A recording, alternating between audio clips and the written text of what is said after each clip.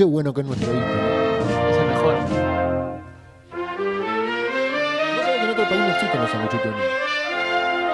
Decime. ¿Qué te voy a decir a vos que ya no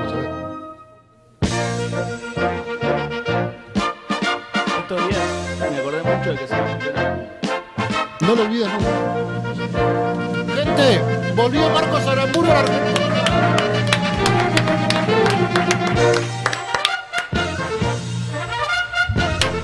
Y volví con ganas. ¿Volviste con ganas? Sí. Tengo mil cosas para hablar con vos, mil cosas para preguntarte. Todas. La gente está contenta. Gise, no firmé nada. ¿Querés darme y voy firmando? Porque si no, no te vas más.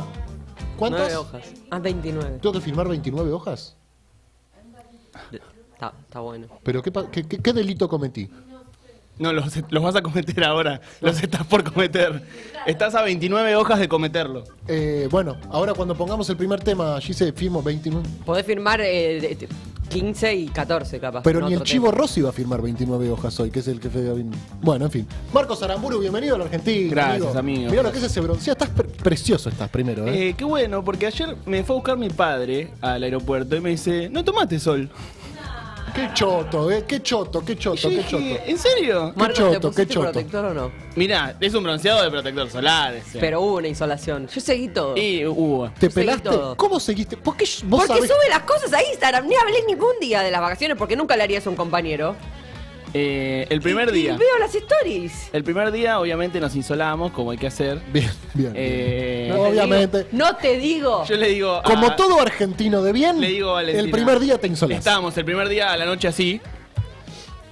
Y, Ay, le, digo, bajón, y ¿no? le digo, ¿cómo puede ser que uno cometa siempre el mismo error? Y me dice, es así. Es así. Un poco es El así. primer día te tenés que insolar. Totalmente. Y ahí es como que ya ganás un bronceadito y el resto de los días. Pero insolación con fiebre, todo así. No, que- no, Ah, ok, ok. no, no. Te quemaste un poco. Me quemé, me Sí, quemé. Me quemé, me dolía la espalda. Está todo bien. Lo que tiene que pasar ¿Le cuando vas. a- llevaste gel verde? Eh, no, porque fuimos casi sin equipaje, entonces no te puedes llevar ese. Excelente, Marcos. Todo perfecto por ahora. Arrancaste Sí. perfecto las Sí, vacaciones. sí, Bien. No, no, fue espectacular. Eh, Me imagino, me imagino. Oíme una cosa, ¿cuánto del 1 al 100? Si 1 es, eh, bueno, 1, digamos. Y 100 es... 100. Sí. Cien. Eh, ¿Cuánto lograste desconectar, como se dice, desconectarte? Desconectarme, no, no, es muy difícil desconectarte hoy en día. Mm. Cua- 40, diría. Bueno, es bastante. ¿Cuántas veces dijiste, che, qué día es hoy? Ah, eso todos los días. Ah, ¿sí? Sí, sí. Bueno, eso es bastante. No, pero lo que digo es que no te desconectás de la realidad. Yo Ah, sé bueno. todo lo que pasó. Lo único que me sorprendió es que no termino de entender cómo me fui y mi ley todavía era un candidato medio eh, marginal. Ajá. Y de repente estando allá, de eh, veo que la gente ya lo da por ganador. Y después digo, ¿qué pasó? Eh, y ahí es cuando te das cuenta. Falopa de consultores. Ahí es cuando te da- 7,7% de inflación mensual. No, bueno, pero ahí es cuando te das cuenta eh, cómo... te si, si no va- si no estás en la vida real, te comes algunas curvas de, la- de las redes sociales. Mira, hubo elecciones este domingo en Río Negro y en Neuquén y los candidatos de Milei sacaron 8 y 9 puntos. Vos me dirás, Río Negro y Neuquén no aportan a la elección nacional Mm. un caudal de votos importante. Bueno, pero son un termómetro, ¿no? Porque si no, no, no- no- nada vale. O sea, ¿vale más una encuesta que una elección? no, no. no, no, no. Después, no, vi todo. Vi como el, todo el, el, eh, Reward Flor Feijo Gate. Ajá. Eh, vi todo, uno ve todo. Pero el- con una buena cosa, que es que no tenía señal durante el día. Entonces llegaba la noche y le dedicaba unas buenas un- media hora a ver todo. Entonces no estás todo el día con el celular, sino que tic, lo concentras en un ratito. Eh, pero no, no te ya no te pasa eso, me parece. No te pasa. Es imposible. No te pasa de olvidarte. No, porque. ¿Te llevaste unas buenas lecturas? ¿Leíste cosas piola? Eh, leí poco, pero leí. Ok. Eh, ¿Qué más? Hablando de leer, les traje un regalo. Porque perdí los chocolates. No, ya sé lo que nos va a dar. Perdí los chocolates. Ah, bueno, por fin. Porque Pará, yo ¿me- lo que he rosqueado esto ¿Me no podés tiene nombre en expli- ausencia ¿Qué de significa Marcos. perdí los chocolates, Marco? No, gasté una fortuna de chocolates ¿Sabés en un por free qué lo- shop. ¿La, la cajita esa? Había 3x2 en Lint. No, ¿Ubican Lint? no, ni Sí. me- a mí ni me cuentes. 3x2 en A Lint. mí ni me cuentes, Entonces Marco. dije, llevo a Gelatina, a Nacional Sí. y a la radio. Perfecto, y quedás como un campeón. Llevando Lint amigo. No, no, no, ch- pero chetísimo. Increíble. Increíble. Lo que está por pasar es porque se perdieron los chocolates, si no, no pasaba Llego para a mí. mi casa a la noche y digo, ¿dónde están los chocolates? Y bueno, los perdí en algún lugar del, del- del camino. Pero- ¿En qué lugar, No Marcos? sé, pero mu- muchas escalas. Pero les traje. No, mirá lo que es esto. Vamos. Un autor, gente, tiene Vamos, obra. la ceremonia. ¡Tiene obra! Gente Vamos, con obra. qué hermoso. Yo no sé qué estás esperando para sacar un libro, Ivana. Eh, vamos a publicar uno con Mati, pero no escrito por mí. Boludo, no puedo creer, amigo, felicitaciones. ¿Es bello o no? Es precioso este libro. Hermoso. Es precioso, ¿qué podés contarnos? Qué hermoso que es realmente, ¿eh? Eh, son cuatro crónicas de personas que usan drogas. La cuarta es eh, sobre mí. Eh, mm, la primera es sobre la las mujeres del archivo eh, de la memoria trans. Ajá. Esa que muestra Ivana es de Alejandro Pascuale, un pintor bastante conocido. Che, realmente es una edición preciosa. Sí. Y la, la segunda es sobre un, un médico que incluye eh, historias de militancia en los 70 relacionadas con las drogas, los 90 y la falopa, eh, en fin. El viernes se presenta en el eh, complejo Art Media. Eh, y nada, estoy recontento, la verdad. Se vendieron muchos más libros de los que yo esperaba. Eh, eh, ¿Todavía se consigue? Sí, claro, o sea, Pero, porque vos ahora esperabas se puede un número, seguir ¿cuántos con- libros Yo vas- esperaba Vas a vender No le miles de preguntes libros. exacto. Yo esperaba, No, ¿cómo lo- esperaba vender una cantidad de libros X. en total, en, para, para, o sea, en, En, toda la, en- en to- toda la toda- vida. Sí, y ya vendiste el doble de ese número. No, ya vendí ese número en la preventa. Marcos, vas a vender mil millones de libros. Marcos Aramburu nació en enero de 1994 y creció en el barrio bonaerense de Villa Adelina. Es locutor, guionista y un psiconauta aficionado. Hizo contenido sobre drogas para Vice y para Gelatina. Gente, estamos en la solapa de un libro. Así es. Este aplauso es para Ya, también. para- podemos- ya falta el libro, falta el hijo y plantar un árbol nomás. Árbol ya aprender. Abro hablando varios, me imagino. Conduce un programa en National Rock y acompaña en la radio a Elizabeth Bernassi. Tanto su trabajo en los medios como sus viajes o también este libro tienen un objetivo en común, contar historias, compartir relatos. Su único consumo problemático es el azúcar, ama a Maradona. Te quiero dar un abrazo. Me emociona. ¿Con quién lo vas a presentar el viernes?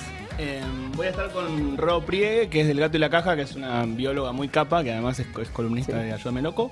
Eh, y además, eh, Belu, que es la diseñadora del libro, porque en, Gato- en el Gato y la Caja le dan mucha importancia al diseño, eh, va a, a explicar, va a hacer que cada persona tenga su libro en la mano y va a ir con una pantalla explicando ciertas decisiones de diseño, como para entender el objeto que tenés en la mano. ¿Cuál eh, Tinelli pidiéndole a Escoltore una heladera para el chabón del peor día de su vida? Sí, claro.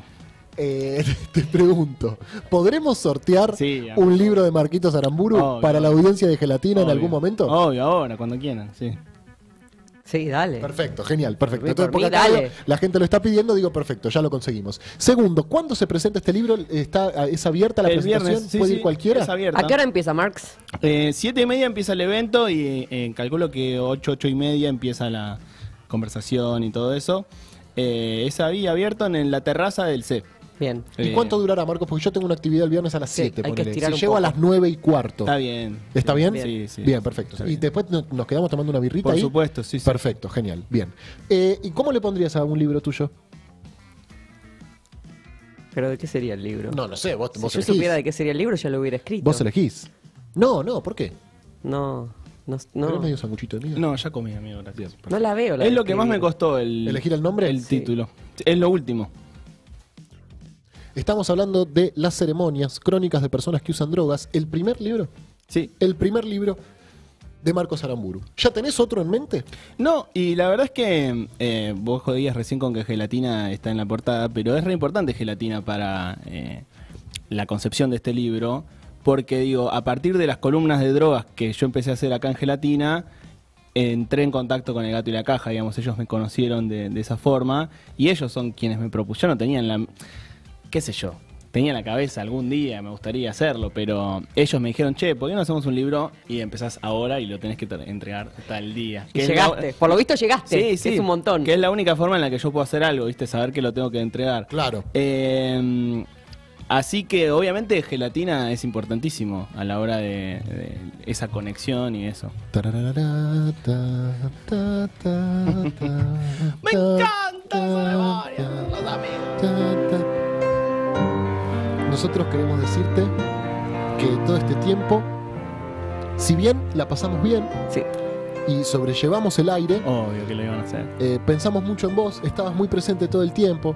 La gente, todo el- cuando yo me iba un poco eh, y, y- y tenía como algún comentario así como buena onda o, o- o pensando que, que todo va a salir bien, la gente me decía cómo se nota que no está Tito, porque eso es un comentario de Tito. Me gusta representar eso. Eh, Pedro, ¿vas a seguir exagerando lo buen tipo o se puede seguir viendo el streaming? No, no, es buen tipo de verdad, es una persona... eh, ¿Qué te voy a decir? Es, es un poco... Viste, el mejor elogio que te pueden decir es eh, que tus amigos se pongan contentos cuando llegas. Eso es lo mejor que te puede pasar en la vida. Que tus amigos se pongan contentos cuando llegas.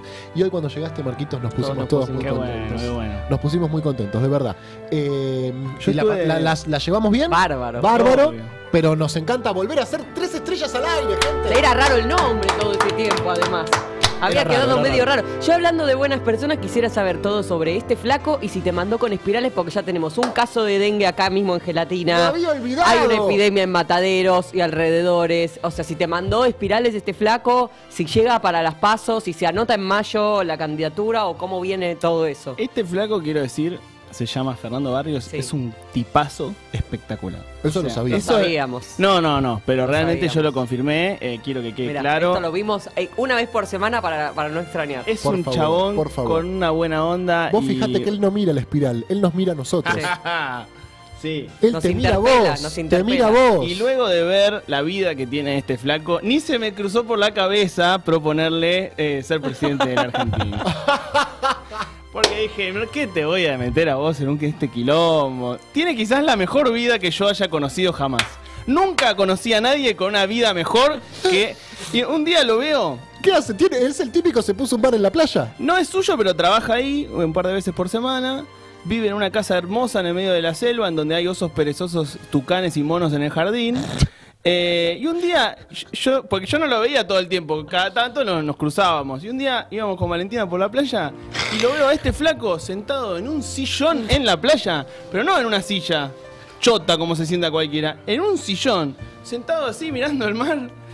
Y le digo, ¿todos los días son para así para vos? No, hoy estoy tranqui, me dice. Y no, realmente es una vida fabulosa. Y no, y posta que eh, una persona muy, muy, muy buena onda, muy anfitriona, muy Qué hospitalaria. lindo. Nos es, invitó que, comer un asado. es que también debe estar deseoso de encontrarse con argentinos, de poder charlar. De... Sí, eh, a mí ahí, ese fue el día que nos encontramos. Preguntan, preguntan si estás leyendo el chat de Twitch. Sí, dicen, estoy- estoy en. Twitch dicen que te extrañaron mucho y le tiran tierra a la gente de YouTube, pero debo decir que en YouTube también te celebran, Marquitos. Qué bueno, qué bueno. En YouTube también te celebran. Y estamos todos muy contentos de que, de que hayas vuelto. ¿Medio que te querías matar o medio que querías volver? ¿Volver? No, no, no, a mí me, me gusta volver. Eh, es parte de lo lindo de los viajes también. Y quiero decir una cosa, estuve viendo Dale. algunas eh, cosas de gelatina. Dale. Vi, por ejemplo, la columna de Octa eh, de, la, de la, ri- la rivalidad Milan-Napoli. Espectacular. Vi el em- especial de 40 años de democracia. Qué bueno que estuvo, ¿eh? Y me dieron muchas ganas de volver a gelatina a ver esas cosas. Como que dije, loco, es un re buen lugar. Siento que uno con, con la cotidianidad y el trabajo diario, capaz es tu trabajo, no sé, venís. Sí. Y verlo desde afuera, desde lejos, fue como, che, qué piola este lugar en donde trabajo.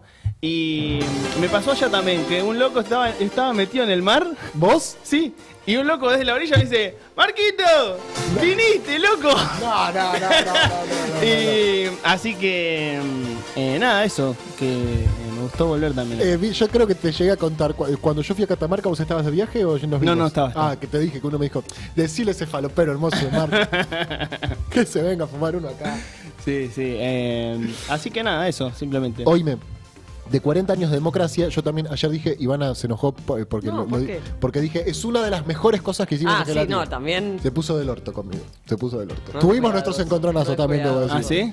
Tuvimos No es nuestros. cuidadoso. No soy cuidadoso. No es cuidadoso. No soy atento, me lo, me lo marcan todos. una de las mejores, está bien, no Una es de la las mejor. mejores. Una de las. bueno, no Una de las mejores. eso. ¿Quién estuvo acá sentadita el día Con ese uno? peluche. Con ese peluche, vine igual. Uh, uh, hay una, hay uh, un uh, lugar sin uh. pocos micrófonos, unas melaminas y un peluche. ¿Estás? Estoy, te dije.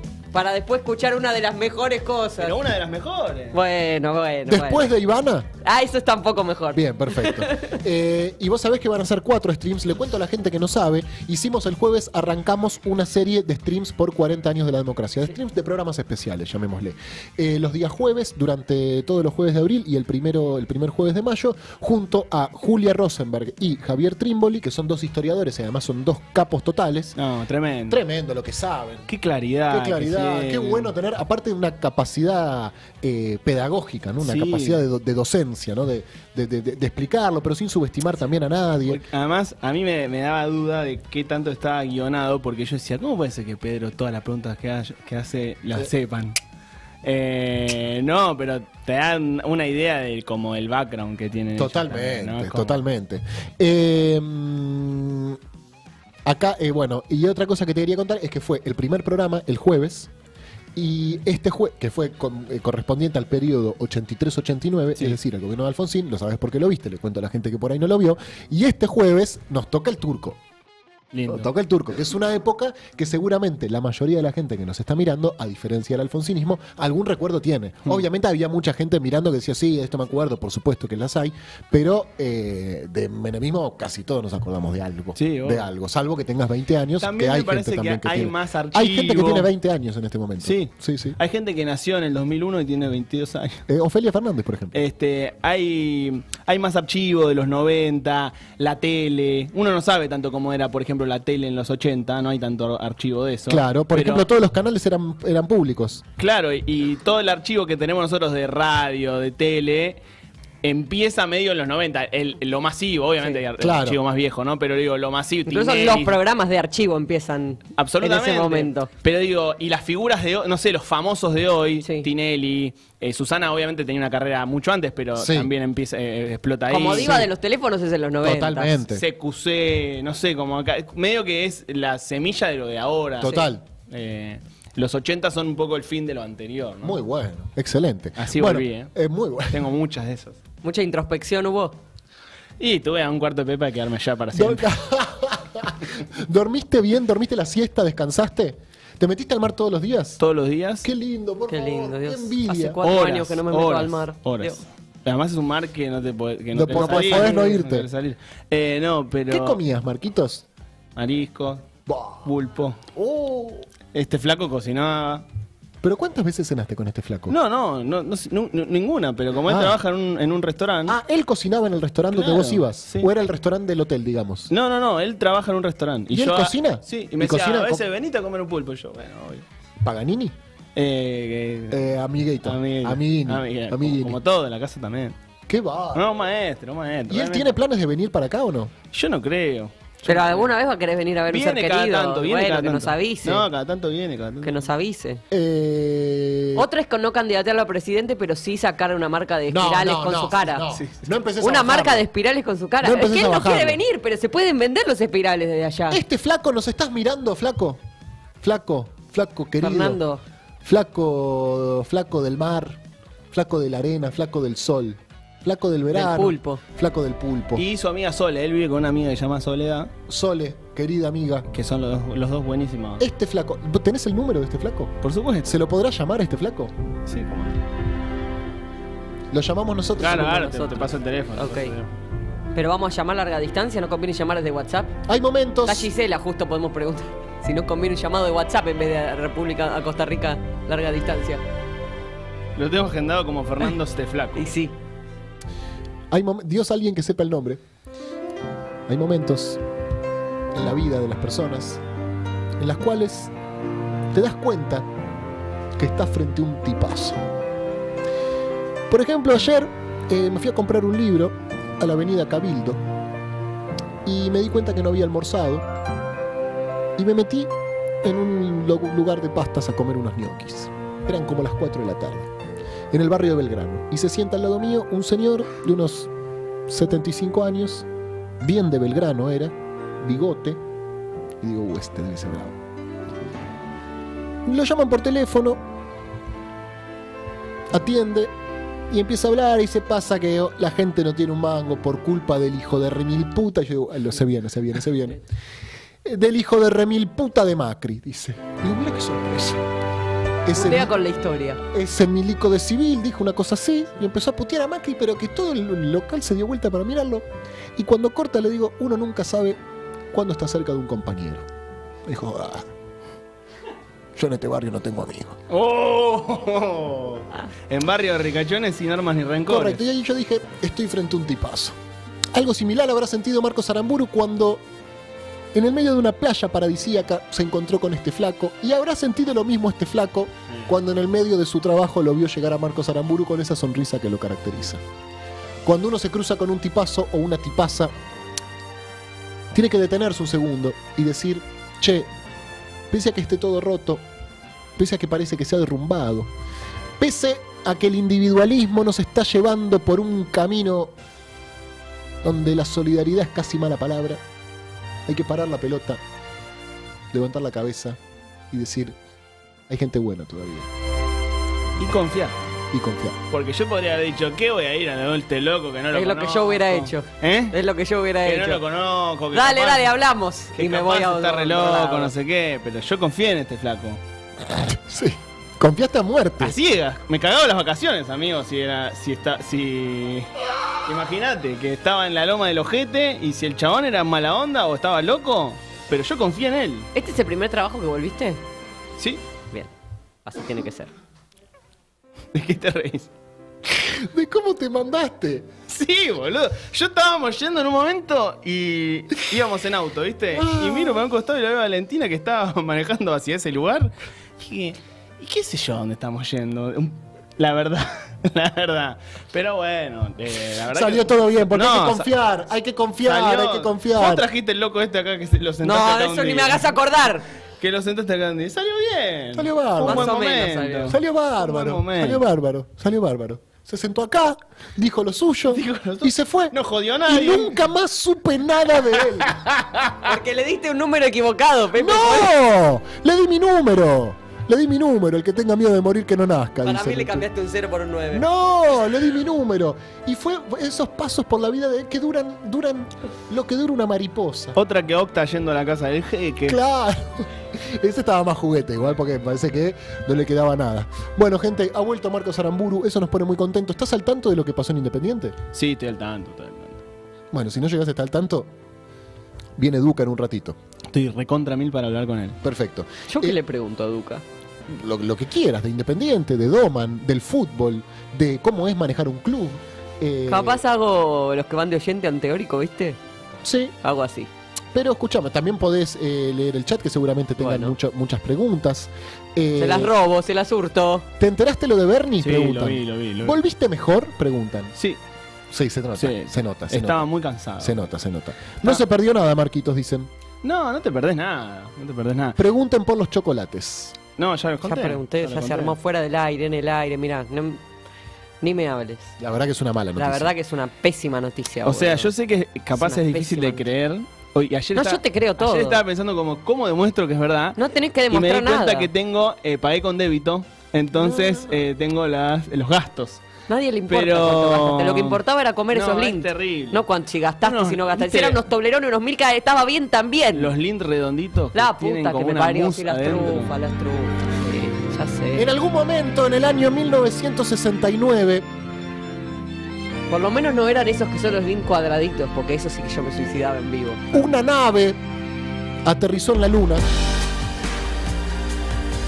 y un chabón bajó, puso un pie y dijo, este es un pequeño paso para el hombre y un gran paso para la humanidad. Y esto es un pequeño paso para este programa, pero un gran paso para la Argentina, porque tengo el placer de saludar en vivo y en directo a quizás la mejor persona Sí. que ha nacido en esta tierra. Dejamos. Este flaco, querido este flaco. ¡Dale, joda! No, ¿está en el sillón? ¡Esa es la casa! ¡Dejate de joder! Mirá dónde No está. puede ser, de. Sacalo, sacalo. Mirá. Juan. Tengo la caripela hecha mierda. ¿Qué mae? Te dejamos un shampoo y una crema enjuague, Fer. ¿Cómo se hace? Explícame cómo se hace, hermano. ¿Cómo se hace? ¿Cómo se hace? ¿Cómo se hace? Eh, tenés que dejarlo todo y no te tiene que importar nada. No se puede.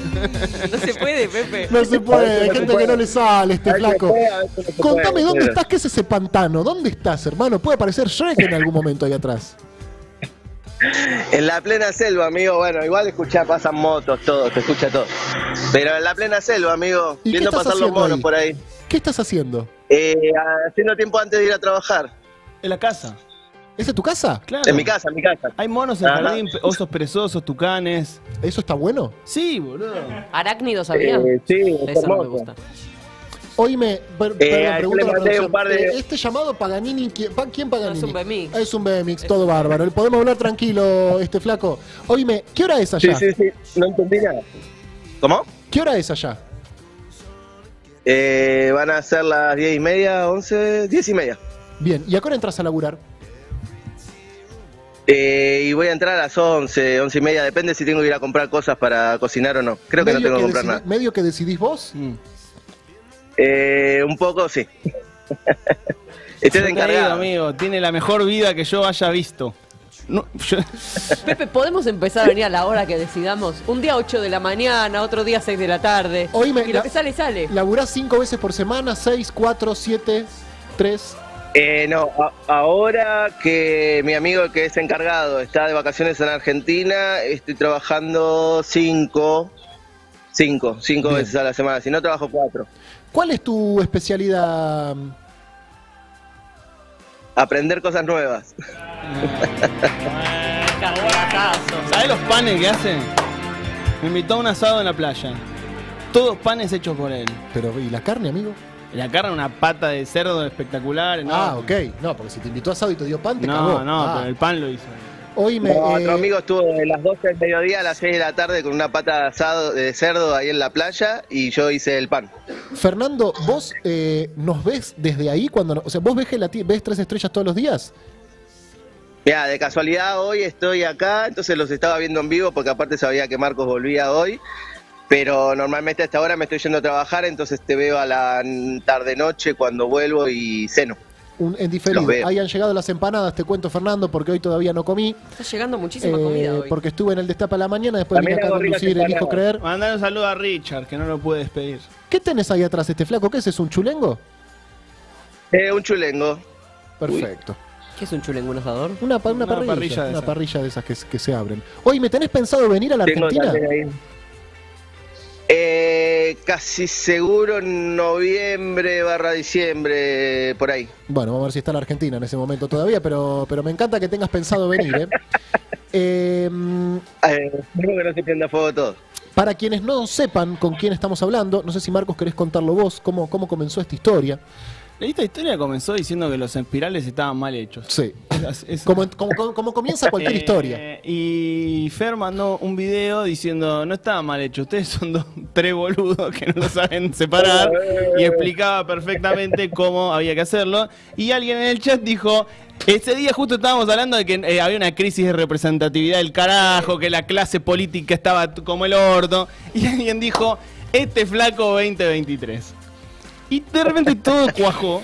No sé si me río o me emociono. Y el chabón dijo, ah, Marquito, si venís a Costa Rica, yo te tengo una onda. Y yo estaba Emilio en ese momento, o ya estaba feliz. Creo que estaba Emilio, le dije, pasame el teléfono. Y le escribí por privado y coordinamos.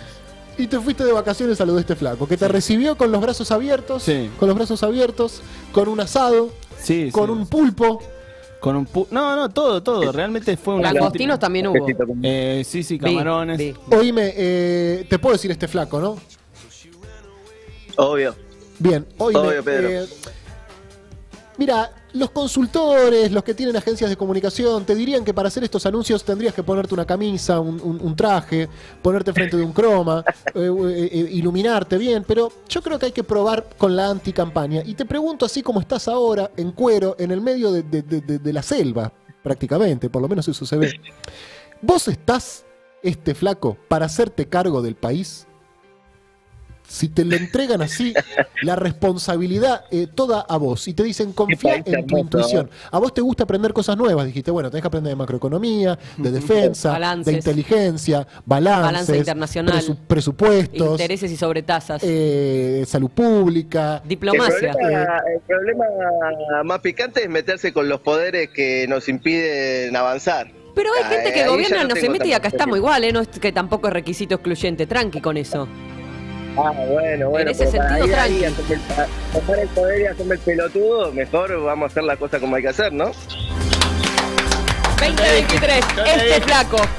Vamos a hacer las cosas como hay que hacer, ese es el eslogan. Fernando, ¿cuál sería tu fórmula, digamos, tu vice?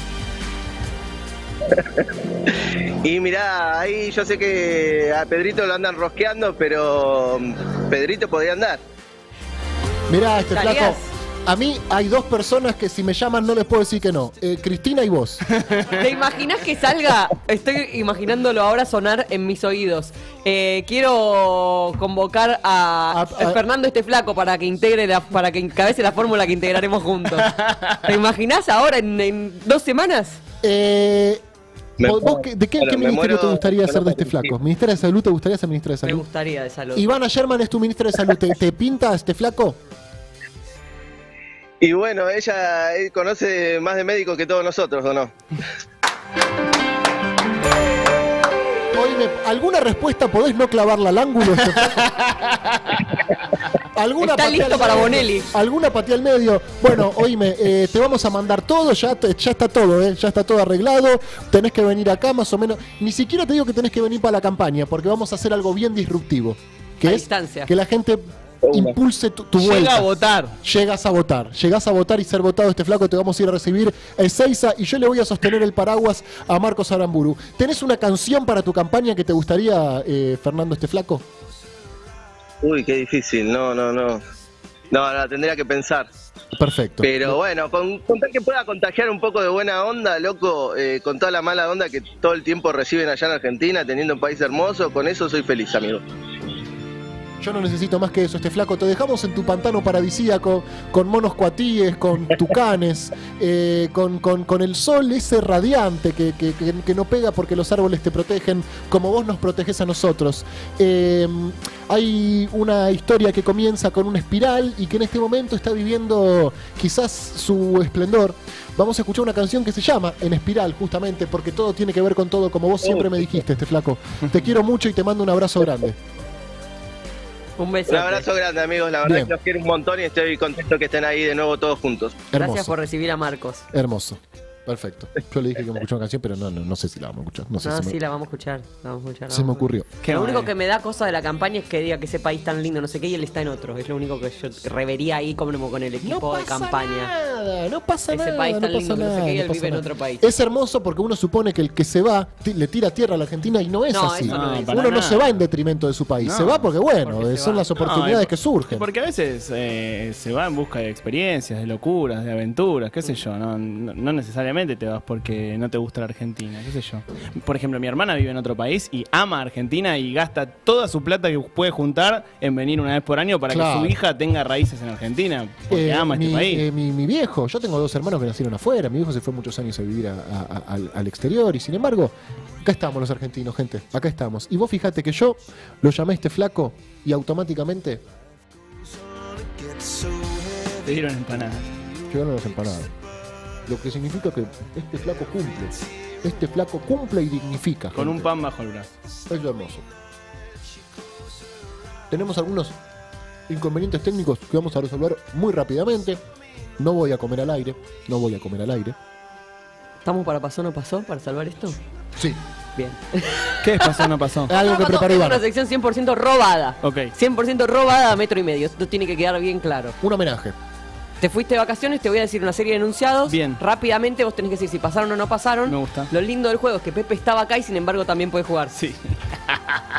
¿Está bien? Dale, me pongo con Marquito. Primer punto. Analizamos uno por uno tus tatuajes. ¿Pasó o no pasó? Eh, no pasó. Pasó. ¿Pasó? Tiene una bajada. Lo hicimos con un especialista. ¿En serio? Decí vos si pasó o no pasó. Ah, eh, no pasó. No pasó. No pasó. Eh, Menos mal. y Pero lo- sí analizamos tus tatuajes uno por uno. Mirá, ¿y, y se los recordaban? Todos los días poníamos la foto tuya así. Ah, claro, perfecto. Entonces ahí lo analizábamos. Esto fue en los primeros días, Pepe, no te preocupes. Vos te lo olvidaste. Esto fue los primeros días. Alberto dijo en el método que su gobierno no necesita relato porque eso significaría mentir. Ay, ¿Pasó o no pasó? Vi los primeros 10 minutos del ¿Pasó o no método. Eh, eh, pasó. Pasó. Pasó. Yo no me anoté las respuestas correctas a todo esto. Pasó, Yo lo pasó, fui pasó. haciendo durante los Pasó, días. pasó, pasó, pasó. Estoy desde el primer lunes haciendo esto. Romina Aurig vino de visita al estudio, vio tu foto y dijo, qué lástima que no estaba, parece lindo. No me jodas. ¿Pasó o no pasó? Voy a decir que no pasó porque si me pasó me mato. No pasó. Ah, no pasó, no pasó. Después de la nota a Romina Aurig en gelatina, Janina Latorre puso una captura nuestra en su cuenta de Twitter. ¿Pasó o no pasó?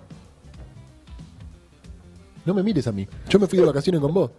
Eh, no pasó. Pasó. ¡No! ¡Pasó! Y yo no me enteré. Yo tampoco me enteré.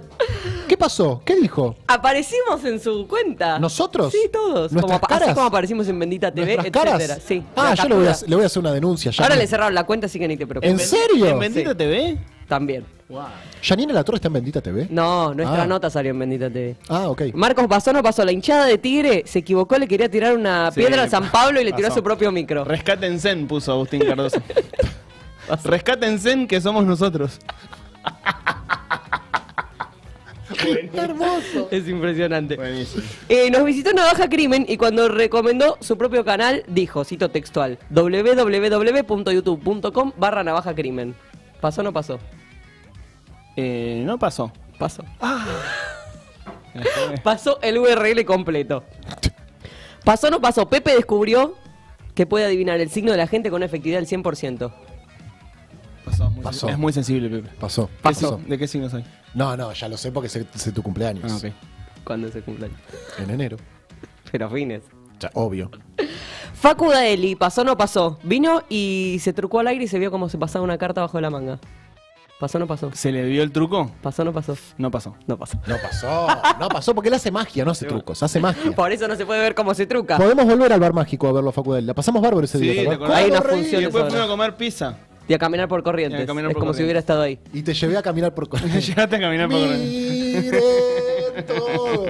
Quedan tres. ¿Pasó o no pasó? Vengo bien. Muy bien, la verdad. Una oyente fue de hongos a un escape room. ¿Pasó o no pasó? Uh, qué mala idea. Pasó. Pasó, infelizmente pasó. Qué mala idea. ¿Pasó o no pasó? Vino Gervasio Muñoz, inquilinos agrupados, y terminó concordando que la ley de alquileres parecía buena en teoría, pero en práctica más o menos. ¿Pasó o no pasó? No pasó. No pasó. Obvio que no pasó. Eso fue ayer, así que me acuerdo bien. Vengo bien, ¿eh? Abrazo desde Portugal. Por último, pusimos el tema ¿Quiénes son? del disco nuevo del Ali para presentarlo y ¿Quiénes Moria especialmente nos mandó un video para presentar el tema ¿Quiénes son? que lleva una participación de ella. Ah, no pasó. No pasó. Menos mal, porque si no, Oh, ¿Te imaginas todos desmayados? Muy bien, Marcos, excelente La performance. verdad que sí. No, volví, volví bárbaro. Volviste bárbaro. Estaba a punto de morir.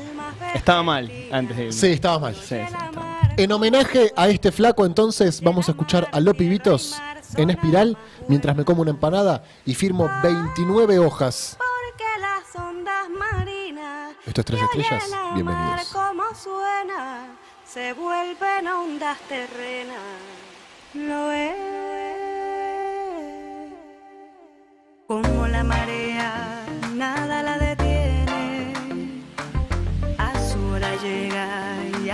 A su hora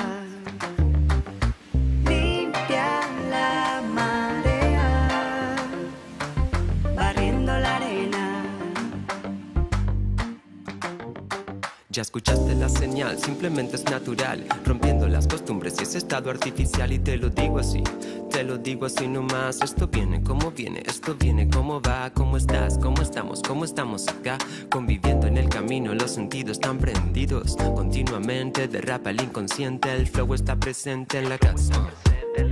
El flow está presente y todo pasa. Todos callados. Nadie dice nada, no hace falta las palabras, no hace falta más nada.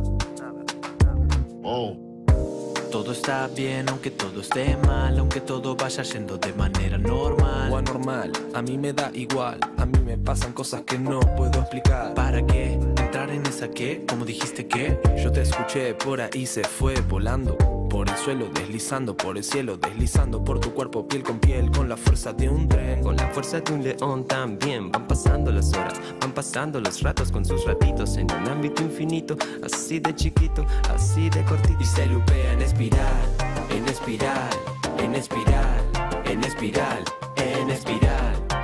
Y, telecoidal. Y se lupea en espiral, en espiral, en espiral,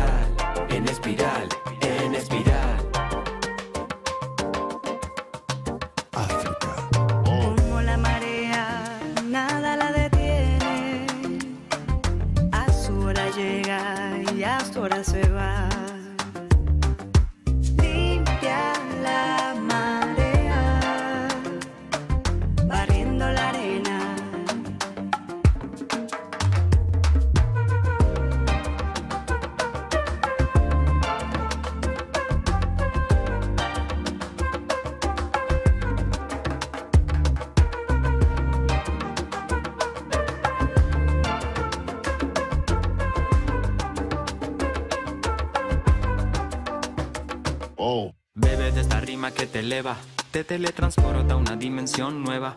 Meta que bailando se van las penas. Mándale ritmo, flow, cadera.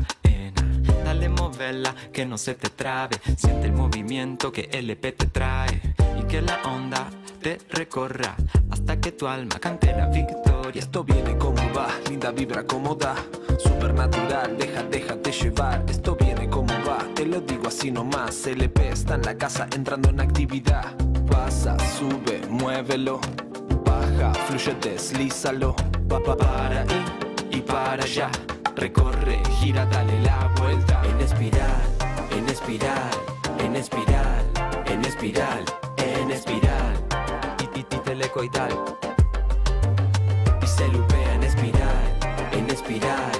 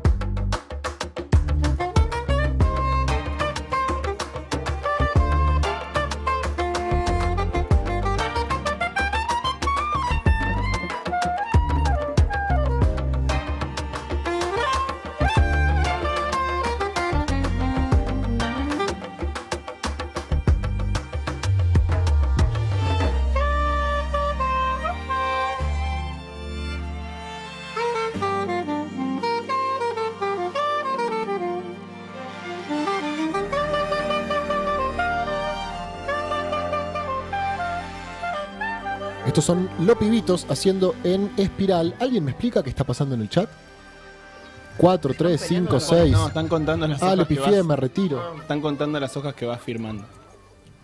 No se entiende. Hay- hay- Firmó las 29. estamos viviendo un proceso de autonomización del chat Es bárbaro. preocupante. ¿Por qué?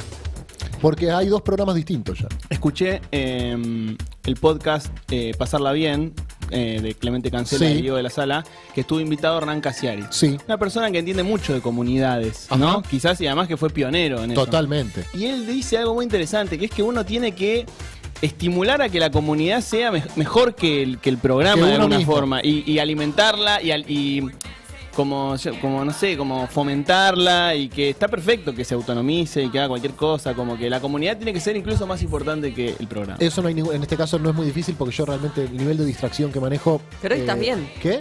Hoy estás bien. ¿De qué? Del pasó no pasó, ¿cuántas adivinaste? ¿Qué? Pero eso ya es una CB, Pepín. Sí. Gente, hoy vamos a jugar al eh, Simon dice, Simón Rodríguez Simón por... em, Pepín Rodríguez Simón. ah, exacto, así se llama. No te digo que tengo Tampoco se niveles- llama Pepín. No, no. No es serio. Ser Eh, llamarte Pepín. sorteamos no es serio. entradas para la fiesta Polenta, se anotan por WhatsApp. Eh, Segundiame que... Eh, la fiesta polenta está muy, muy hypeada. Sí. ¿Fui? No, no fui, pero veo en Instagram y me da FOMO, así que suficiente motivo para anotarse en un número que yo todavía no sé. Yo fui.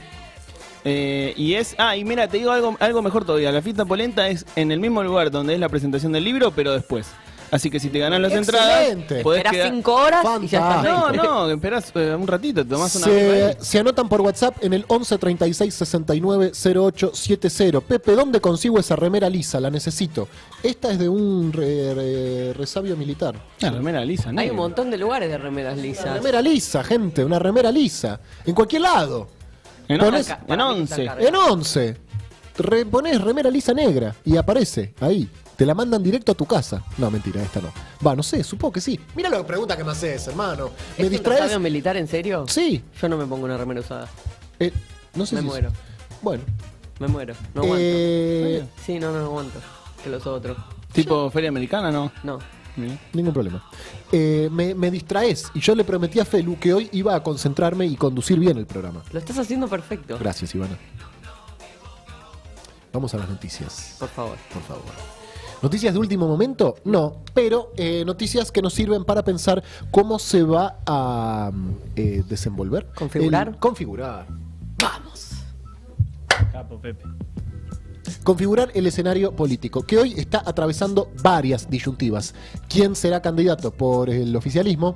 Es decir, por el frente de todos. Me dirás, no es tan oficialismo. Bueno, en fin, ustedes me entienden. Primero definamos oficialismo. Primero Tampoco definamos hay que ser tan terminantes con, la- con las palabras, ¿no? ¿Dónde conseguiste el arito, Pepe? Pará, loco. Pará, la Bond Street. pará, pará. Y lo otro que falta definir es qué sucederá en la oposición, que está atravesando en este momento un proceso de discusión interna sobre si tienen que seguir el camino de la moderación, vamos a decir, porque tampoco Rodríguez Larreta moderado, bueno, eh, y tejer una alianza con el sector del radicalismo, una posición que lleva adelante Rodríguez Larreta, o si por el contrario tienen que inclinarse hacia el lado de Patricia Bullrich y cerrar una alianza con los liberales. Qué raro porque la alianza técnicamente ya existe, o sea, ya son un frente, el eh, Juntos por el Cambio. Sí, lo que pasa es que Milei dice yo no voy a entrar a ese frente. Así no, que no si sé quieren- ni por qué se discute eso, pero no sé por qué se discute más que por eh, las ganas que. Bueno, lo dijo Carrió, ¿no? Las ganas de eh, un Macri o una Bullrich, quizás de, eh, bueno, salirse de, de- de este conglomerado e ir Yo hacia la derecha, que no, lo sé. Siento que no va a pasar eso, pero la verdad, insisto, no es, da- no es data, es simplemente, Sí. ni siquiera te digo análisis, es más intuición. No veo que rompan juntos por el cambio a dos meses del cierre de lista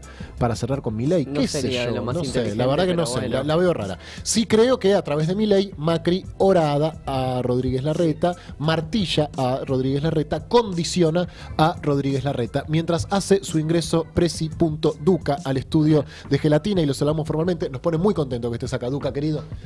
Gracias a vos por venir. Eh, esto fue lo que dijo Javier Milei cuando le preguntaron al respecto en La Nación Más. A ver. Perdón, Joa, que te ¿Usted ladrillo. capaz de hacer un, un- un acuerdo? Obvio.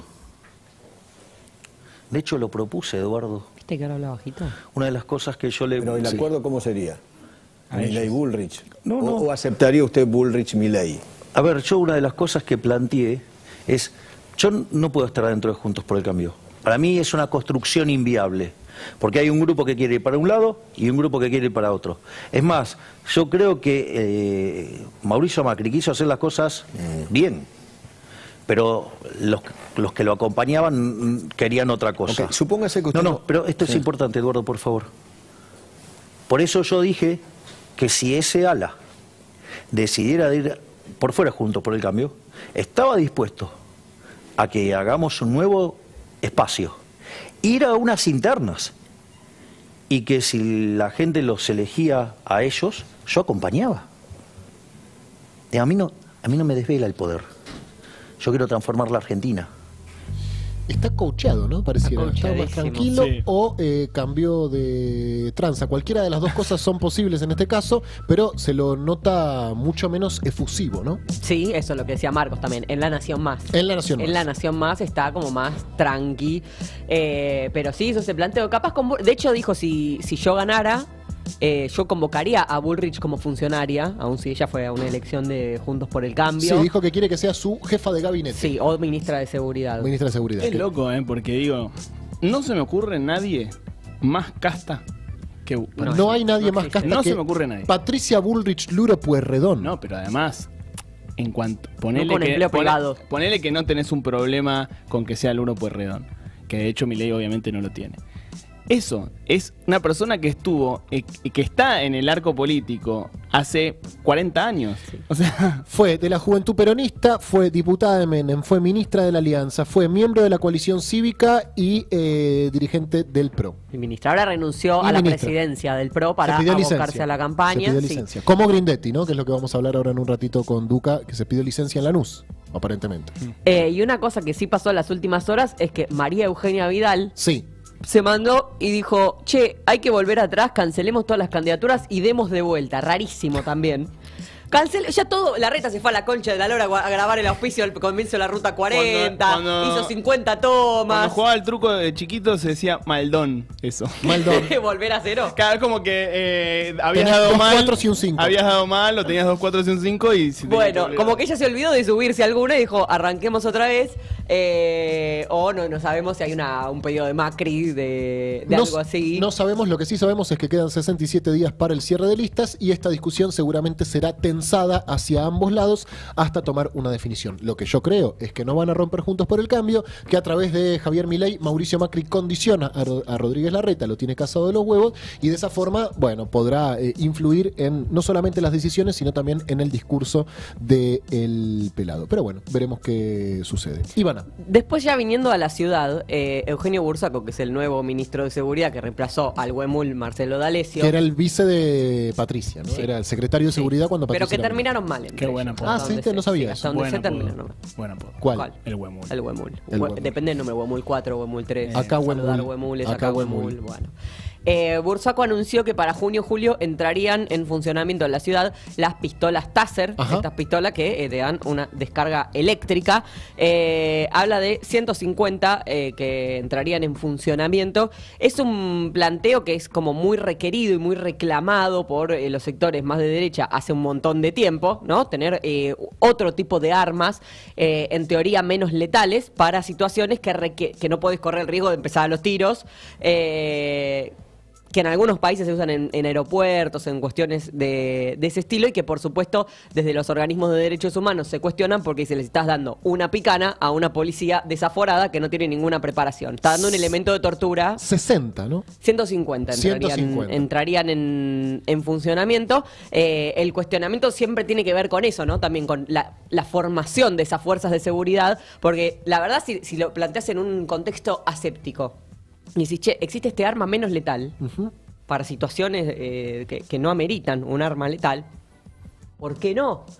Y a la vez decís, porque son unos desaforados, m- sin entrenamiento, sádicos, con ganas de dañar, y que mal usadas sí pueden ser letales. Y además también siempre tenemos un antecedente de cómo las fuerzas usan armas menos letales, como eh, las, las balas de goma, por ejemplo, que tienen un procedimiento, que hay que tirarlas siempre a los pies, un montón de cosas, Y y, no se terminan sacando rolete. claro, por bueno, supuesto. entonces a esas fuerzas les están dando eh, esto, una, una suerte de, de picana que mal usada sí puede resultar mortal y que se, se establece a, partir, de junio julio. A partir de junio. Que igual, 150, no sé cu- cuántos miles, pero son varios miles los efectivos en la ciudad. Eh, tampoco es una cuestión que. Porque se usa mucho el caso de, de la policía que murió en el subte. Sí, hace le, poco. Le sacaron su arma y le dispararon. Que es un caso que ni siquiera era estrictamente en el, en el que aplicaría lo de la tasa. La mina se había acercado a hablarle al tipo que, que estaba deschavetado, no es que era un enfrentamiento de necesariamente de seguridad. Y una apostilla de este tema es que Jorge Macri planteó que las mujeres que sufren violencia de género porten una taser. Está bueno. Está bueno, es como un capítulo de Bojack, no sé si lo vieron. Según Eh, Google, sí. según Google, la policía de la ciudad tiene 29.800 eh, empleados. No sé si son todos oficiales. No Por lo- creo que todos, pero No, aún si fueran la mitad. Ponele que son la mitad, claro, siendo buenos. 150 es del 1%. No parece un, parece un número que viene más, un anuncio que viene Sí. más a responder una necesidad de campaña Sí. que a, digamos, a atender una problemática. Sí, ¿no? sienta un antecedente igual. Sienta un antecedente, eso es cierto. para, para atender. Y bueno, te- eh, esto que te decía, la propuesta de Jorge Macri para los casos de violencia de género, que eh, las víctimas anden con, eh, Con las con con la no que se solucione la violencia de género. Sino que Que andes con un, que, que te entrenes, la aprendas a usar, Sí. eh, cargues los cartuchos carísimos, alguien te provea las taser, no te pueden dar un botón antipánico, te van a dar una taser, para mí se le ocurrió así la y andes ahí, eh, bueno. No, es que el chabón, yo te digo la lectura que haces. Me están rompiendo los huevos de los derechos humanos. Sí. Da, vamos a darle algo. Y bueno, que las la minas se defiendan con las tazas. Vos te recomiendo ese capítulo de Bojack en el que eh, Diane eh, dice, ¿y si andamos armadas? Y de golpe todo el Congreso quiere prohibir las armas. Apenas las mujeres empiezan a andar armadas. De golpe todo el país, republicanos, demócratas, todos de acuerdo en que se prohíban las armas. Es espectacular. Bueno, esto será a partir de junio, veremos cómo sigue esta discusión. Hay una buena noticia entre todas estas que tiene que ver con el Mundial Juvenil. Sí, eh, un mundial juvenil que es interesante por qué no se va a jugar en Indonesia. Sí. Sí. Se iba a jugar en Indonesia eh, y la FIFA se lo termina sacando porque dos gobernadores de dos provincias de- del archipiélago eh, quisieron impedir que participe Israel. Indonesia es el país con más musulmanes del mundo y es un país que eh, banca eh, activamente la causa palestina, ¿no? Sí.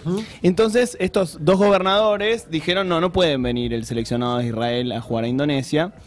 Y ante esa, eh, eh, esa propuesta o esa iniciativa, la FIFA le saca el Mundial. Lo cual es interesante porque la FIFA sacó a Rusia del Mundial de Qatar.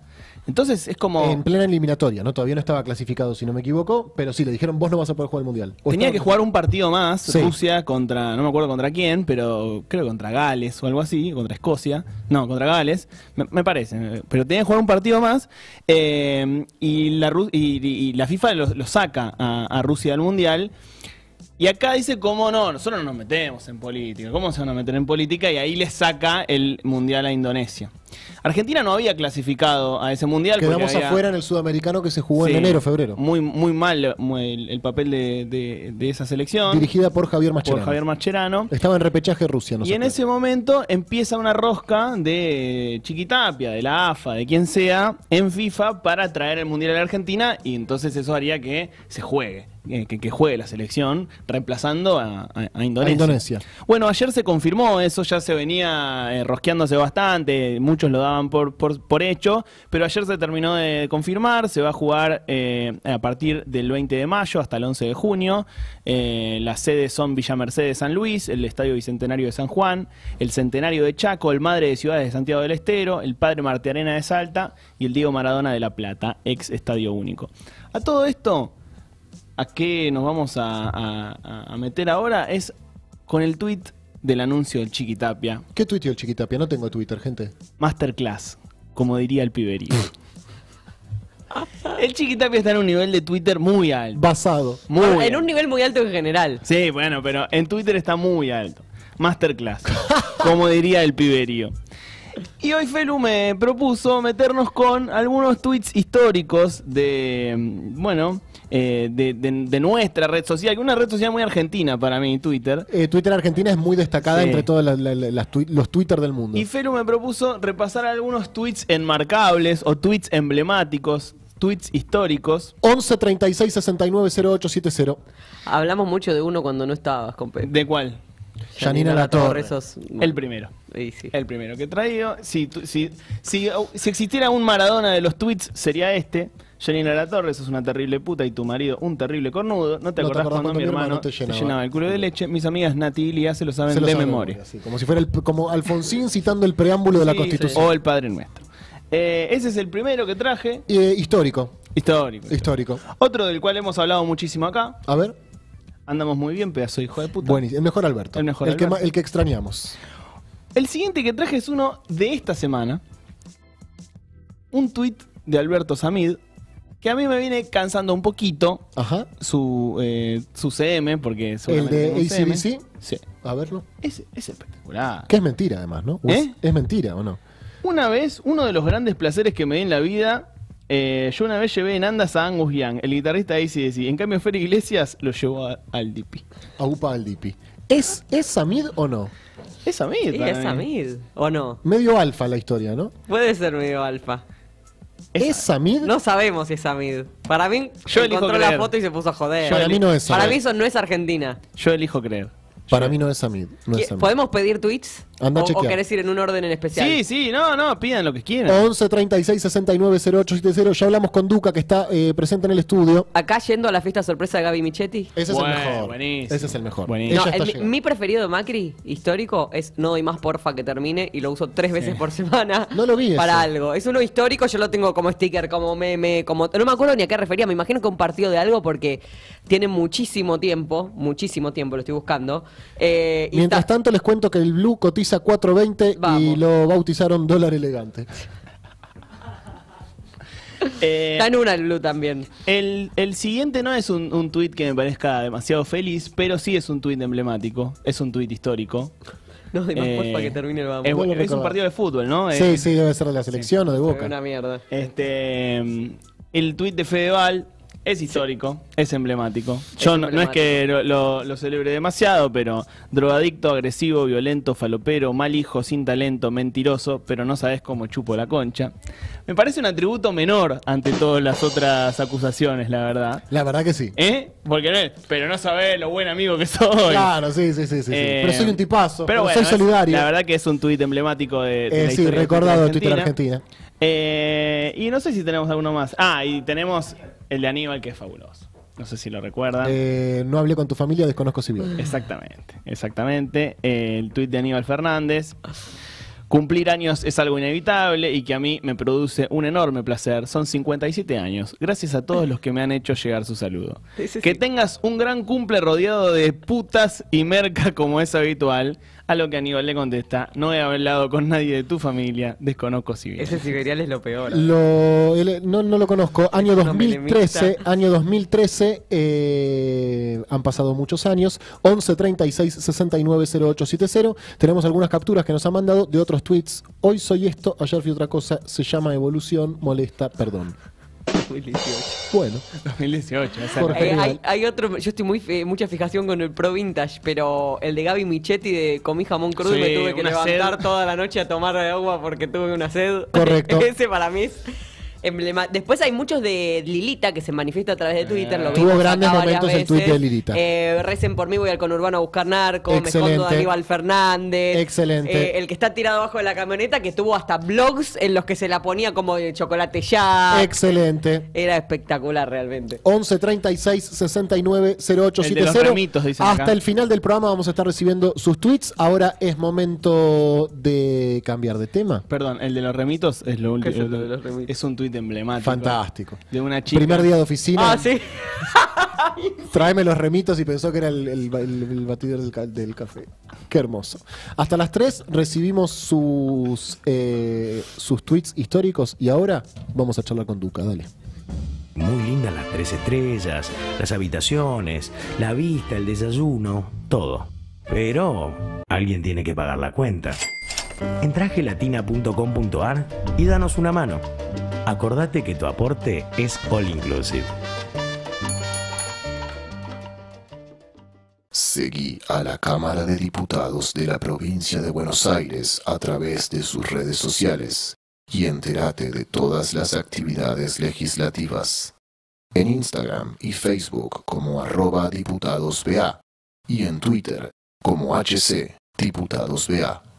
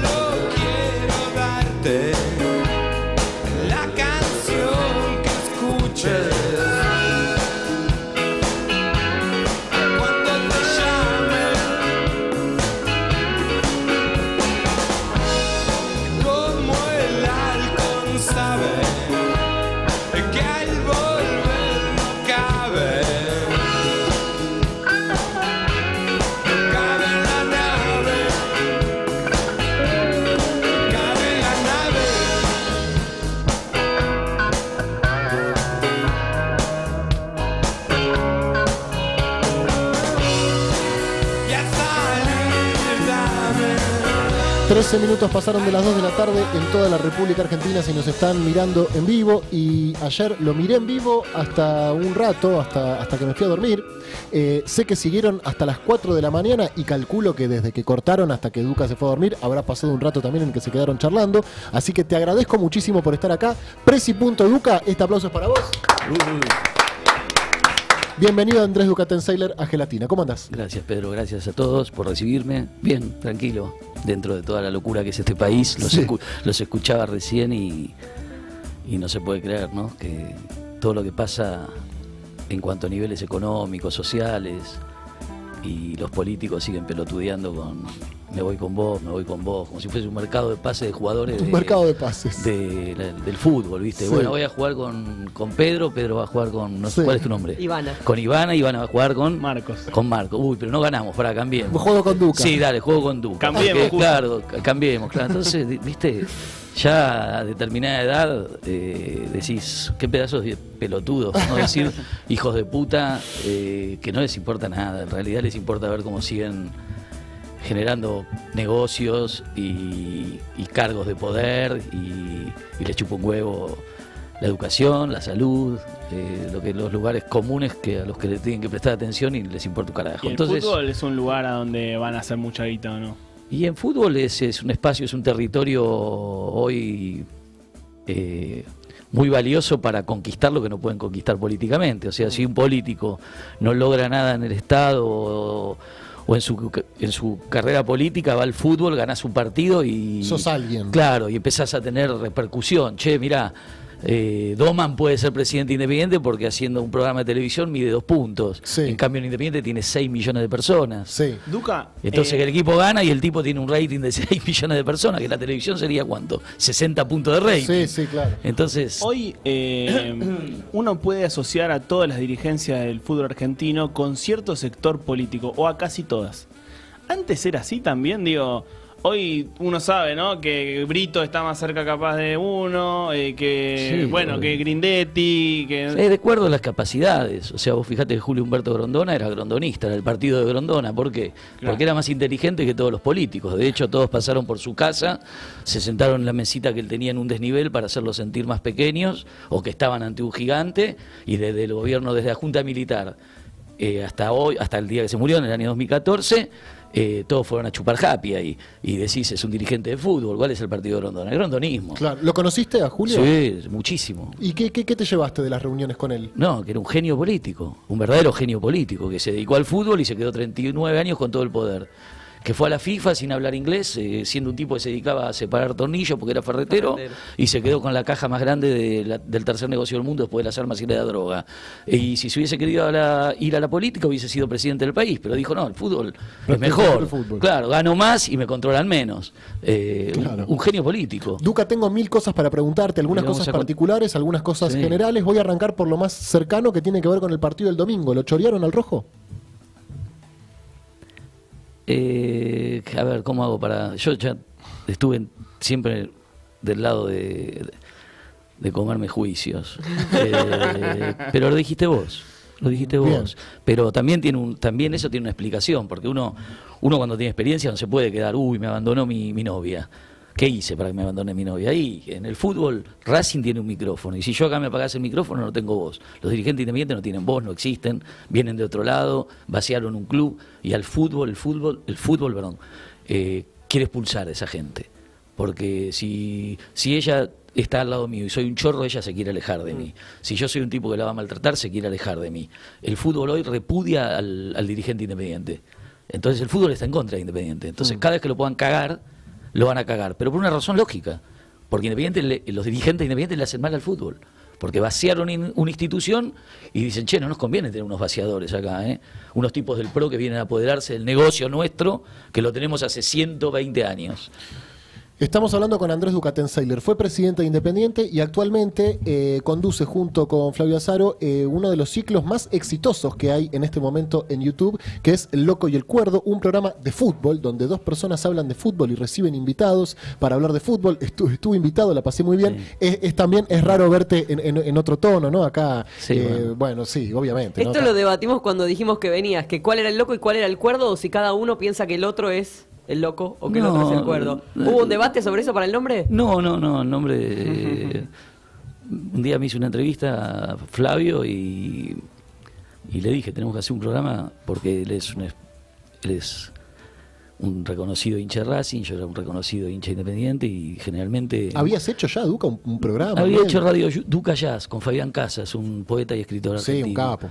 En Radio Cultura, que fue muy lindo, muy interesante, porque vinieron todas las persona- personalidades de, de la literatura, del espectáculo, de la ¿Es música. del rojo él? No, es del fanático de San Lorenzo. Ah, ok. Pero, pero vino mucha gente muy importante a nivel artístico, literario, cultural y fueron cuatro años muy buenos. Eh, pero bueno, lo bueno tiene menos repercusión que por ahí lo más popular o lo más... eh, Claro, claro, que sí, sí, sí. que- que- salvo que tengas alguien que lo, lo sepa vender y nosotros lo hacíamos por placer.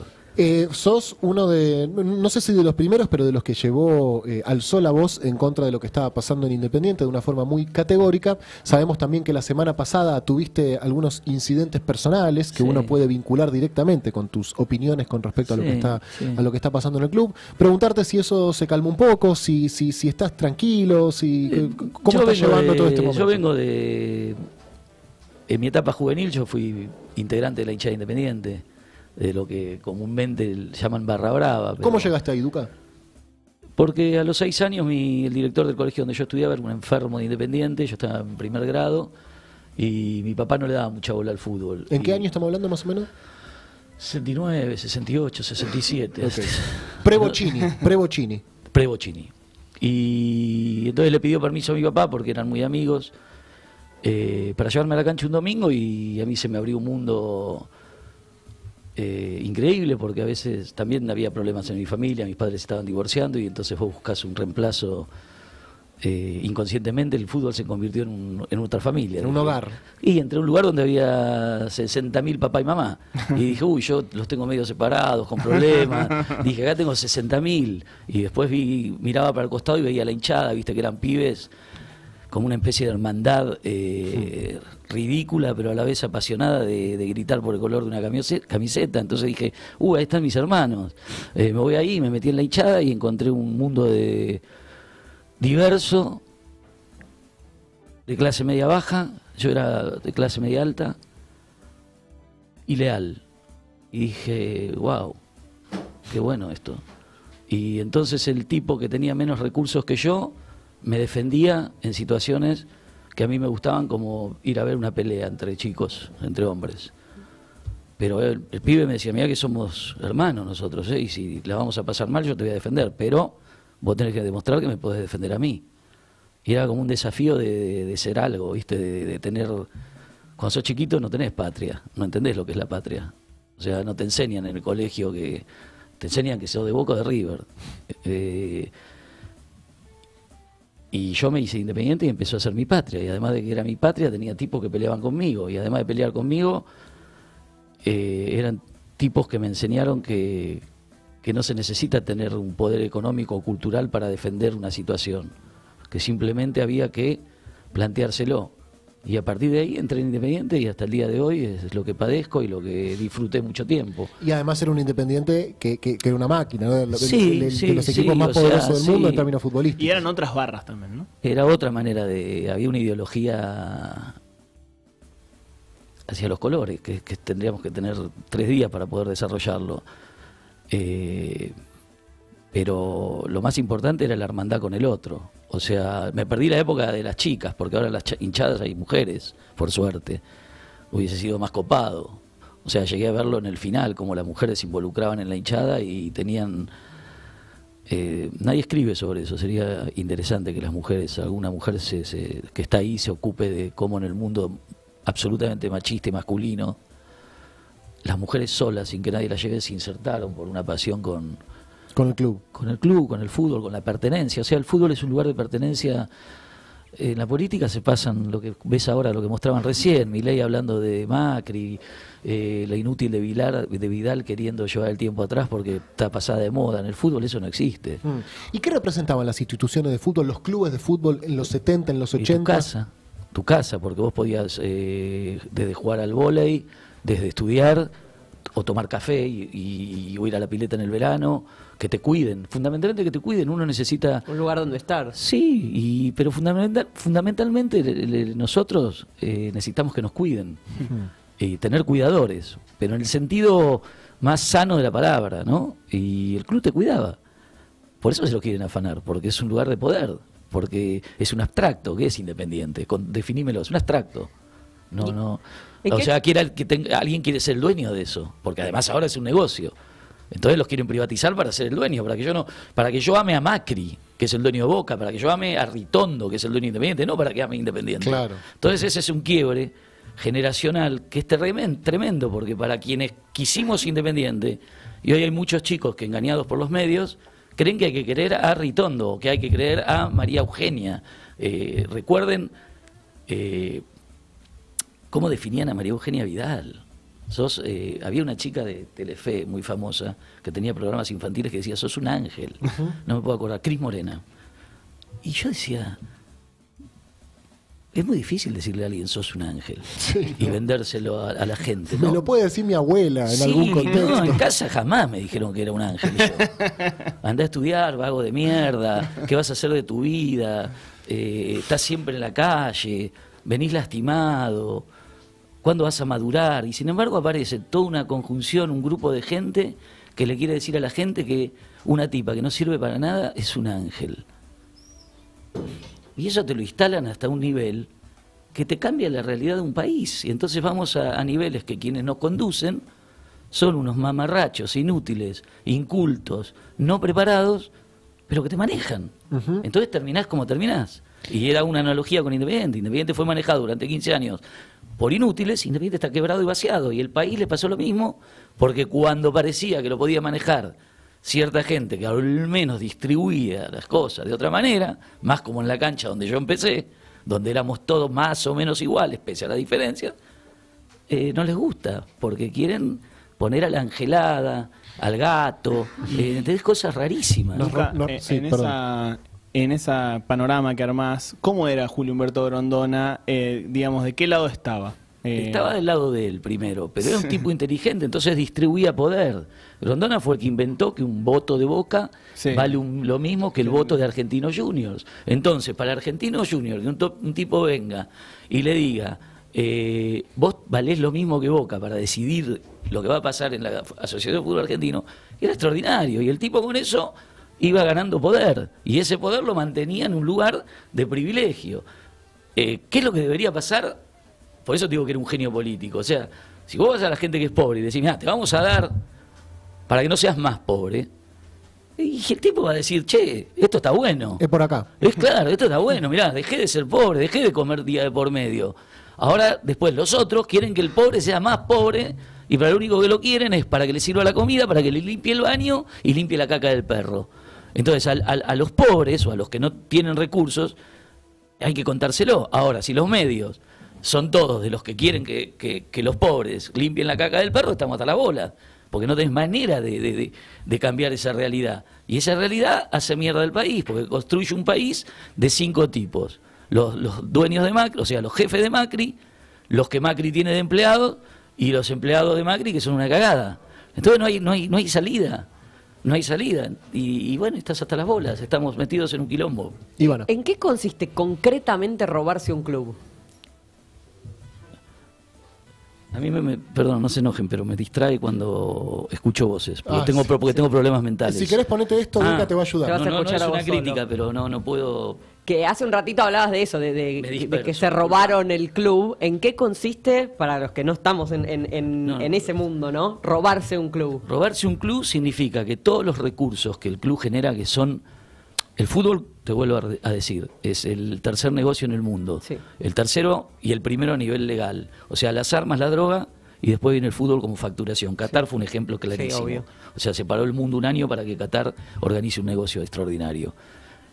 Significa robarse, lo, mismo que en el país, robarse los recursos para quedárselos. Los recursos de los clubes son asociaciones civiles sin fines, sin fines de lucro, o sea, son de los socios. O sea, nosotros decidimos formar esta radio, hacer una cooperativa, ponerle si querés, la radio es de todos nosotros, ganamos, perdemos, pero de todos nosotros. Pero vamos, como el fútbol da mucha utilidad, si lo manejamos bien vamos a ganar. Los tipos ven que ese negocio lo manejan cuatro, cuatro personas comunes que no tienen intereses políticos, que no tienen intereses económicos más allá del club y dicen, no, vamos a robarnos esto. ¿Por qué? Porque aparece la televisión como medio de comunicación, invierte en el club un montón de plata. Entonces el poder dice, no, che, pero que estos pibes no manejen tanta plata. ¿Y de dónde viene la guita de los clubes? Porque uno... La televisión, fundamentalmente. ¿De la Lo- televisión? Lo viste en el Mundial. La televisión banca el déficit operativo. ¿Por qué? Porque yo para tener un, un club tengo un equipo de fútbol que me da superávit, pero como el club es social tengo un colegio, volei, tenis, canto, coro, 80 actividades. Esas 80 actividades las banco con el fútbol. Claro. Como no me alcanza voy a tener un déficit. Ese déficit me lo cubre la televisión.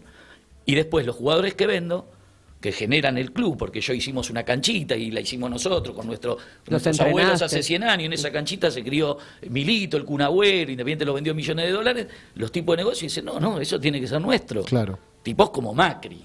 Grondona era todo lo contrario. Grondona fundó Arsenal de Sarandí. Mirá que yo le hice un juicio a Grondona, ¿eh? no es que estoy haciendo una apología. ¿En qué Sí, momento, Duca, ¿En qué momento que le hiciste el juicio? en el 2004, cuando Macri y Grondona me pidieron que Independiente, que iba primero, que yo era el presidente, eh, vaya para atrás para que salga campeón Macri, porque Macri no había perdido nunca una final. Y la idea de Grondona, como Macri quería las sociedades anónimas, y Grondona bajo ningún punto de vista, porque significaría que perdía el poder, el poder pasaba a manos de privados, lo quería rajar del fútbol. Para rajarlo del fútbol le dio un boca ganador para que siga de largo. En vez de querer la AFA, que es lo que Macri 25 años después viene por la FIFA y por el fútbol, Grondona, que era un genio, dijo, no, yo te voy a hacer ganar para que te vayas de largo. Excelente. Y al tipo lo metió de, de jefe, de jefe en la ciudad. Y acá andá y hace carrera política. A mí no, No, me ro- jodas con la AFA. Claro, no me rompa los huevos porque este negocio es mío y de los clubes. ¿Entendés? Grondona fue un tipo que cuando los clubes quebraban por malversación de fondos, porque se los robaban, buscaba la guita de donde, para que los clubes sigan siendo asociaciones civiles, porque ese era su verdadero poder. Él mandaba sobre eso. Pero era un tipo que tenía argumentos para decirlo. Él fundó el Club Arsenal de Sarandí. Entonces era un defensor de los clubes, de los barrios, de los colegios. Y River tienen colegios donde van 2.000 pibes. Eh, no es chiste.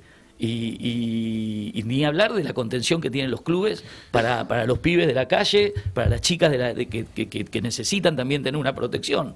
Eh, no es lo mismo eh, andar solo por la vida que tener una contención. Totalmente. Eh, o sea, eso es la función del Estado en el país. Es exactamente los clubes. Los clubes son pequeños países dentro del país. Y a veces mucho mejor, porque el, el- el individuo siente que el club lo, lo cuida más por este sentido de pertenencia. O sea, si a vos te roban en la cancha independiente, los negros de la hinchada los matan al que te robó. A vos te roban en la calle acá en la esquina y la gente te ve en el piso y sigue de largo. Por ahí hay mucha gente que no, pero ya eh, cambió todo, o sea, no hay solidaridad. Pero en el fútbol tampoco está empezando a haber solidaridad, lamentablemente. Cuando vos fuiste presidente del Rojo, Sí. Racing estaba pasando un momento muy parecido al que está viendo hoy Independiente. Sí, ¿no? nosotros gozábamos de esa situación en lo deportivo, sí. ¿Cómo? Y hoy, o sea, la situación de Racing es bastante buena. Sí, digamos. es a la inversa, exactamente lo que dijiste, es Eh, absolutamente a la inversa.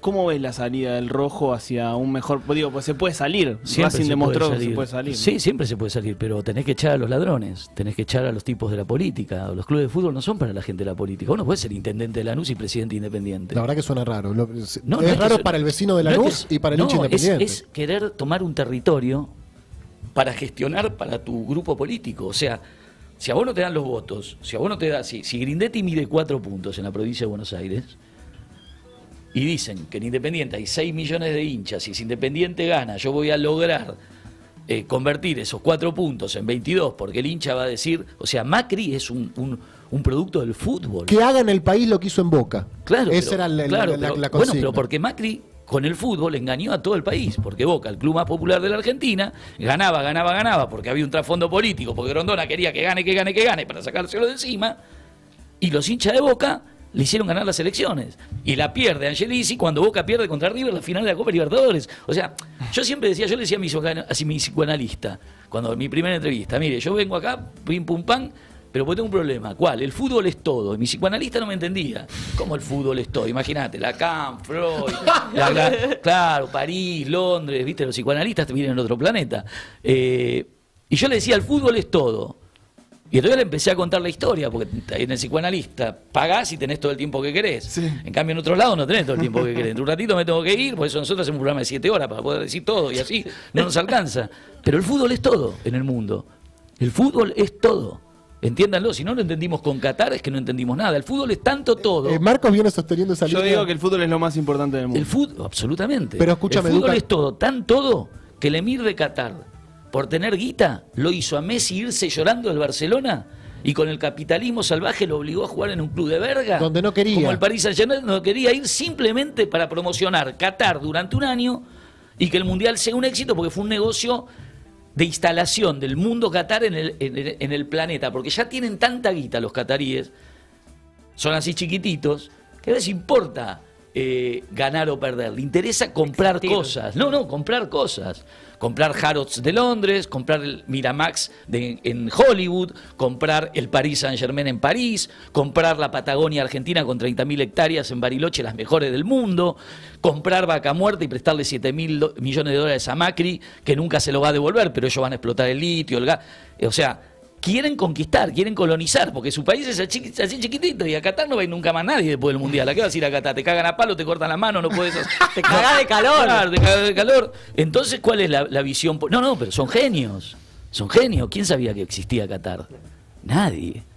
Entonces se dieron cuenta que el fútbol es todo. Entonces se van a quedar con la FIFA, se van a quedar con los clubes del mundo y van a tener todo el poder un tipo que. ¿Sabes lo que es el emir de Qatar, del padre del emir? O sea, tipo que te cortaban las piernas si vos no hacías lo que ellos querían. Eh, Duca, tengo... Y Macri vuelve y te dice que Qatar es el mejor lugar del mundo y que tenemos que ser como Qatar. Entonces, bueno, estamos jodidos y no hay comunicación ¿por qué? porque los medios son todo de Macri. Tenés dos chifladas como estas pibas de la colorada chimentera y la otra psicótica que, que van y dicen cualquier cosa. Entonces, si nadie pone freno a eso y nos miramos, ¿viste? Nos quedamos mirando con Alberto, miramos. Los argentinos miramos, che, mirá, hace tres años que miramos cómo maltratan a la gente, cómo generan odio, cómo te dicen bueno, surge Milei, un tipo que no tiene estructura. O sea, abajo de Milei no hay nadie. A ver si me entendés. O sea, se inventa un personaje que abajo no tiene a nadie. La hermana en el mejor de los casos. No, pero eh, no está abajo, encima está arriba. Lo que es más peligroso. O sea, abajo no hay nadie. Entonces ahora te hace el cuentito, no, porque Macri, tiene que ir con Macri porque no tiene nada. Porque no quiere ser presidente, porque tiene miedo. Y a Macri, que le vino que la reta decidió terminar con el macrismo, que no entienden porque no, no entiendo por qué no lo dicen. La reta tomó una decisión muy valiosa para la Argentina, aunque uno no con- concuerde ¿Cómo con la reta en otras cosas. La reta decidió terminar con el macrismo. Se la jugó. Vamos a ver cómo le va. Claro, no, obvio. ¿O Ahora van a- viene después? Ahora viene la cámara que los pidió durante. Olvidá, la sorgía, eh, le- le- fumando churro, lo vamos a ver en la reta en situaciones que ni nos imaginamos, ¿entendés? En cuatro patas recibiendo un orangután que se lo está. Puede pasar cualquier cosa. Con Macri, puede pero Macri es capaz de cualquier cosa. Ahora, ahora, seamos inteligentes los argentinos. Si el muñeco se animó a romper el macrismo y a terminarlo, hay que apoyarlo.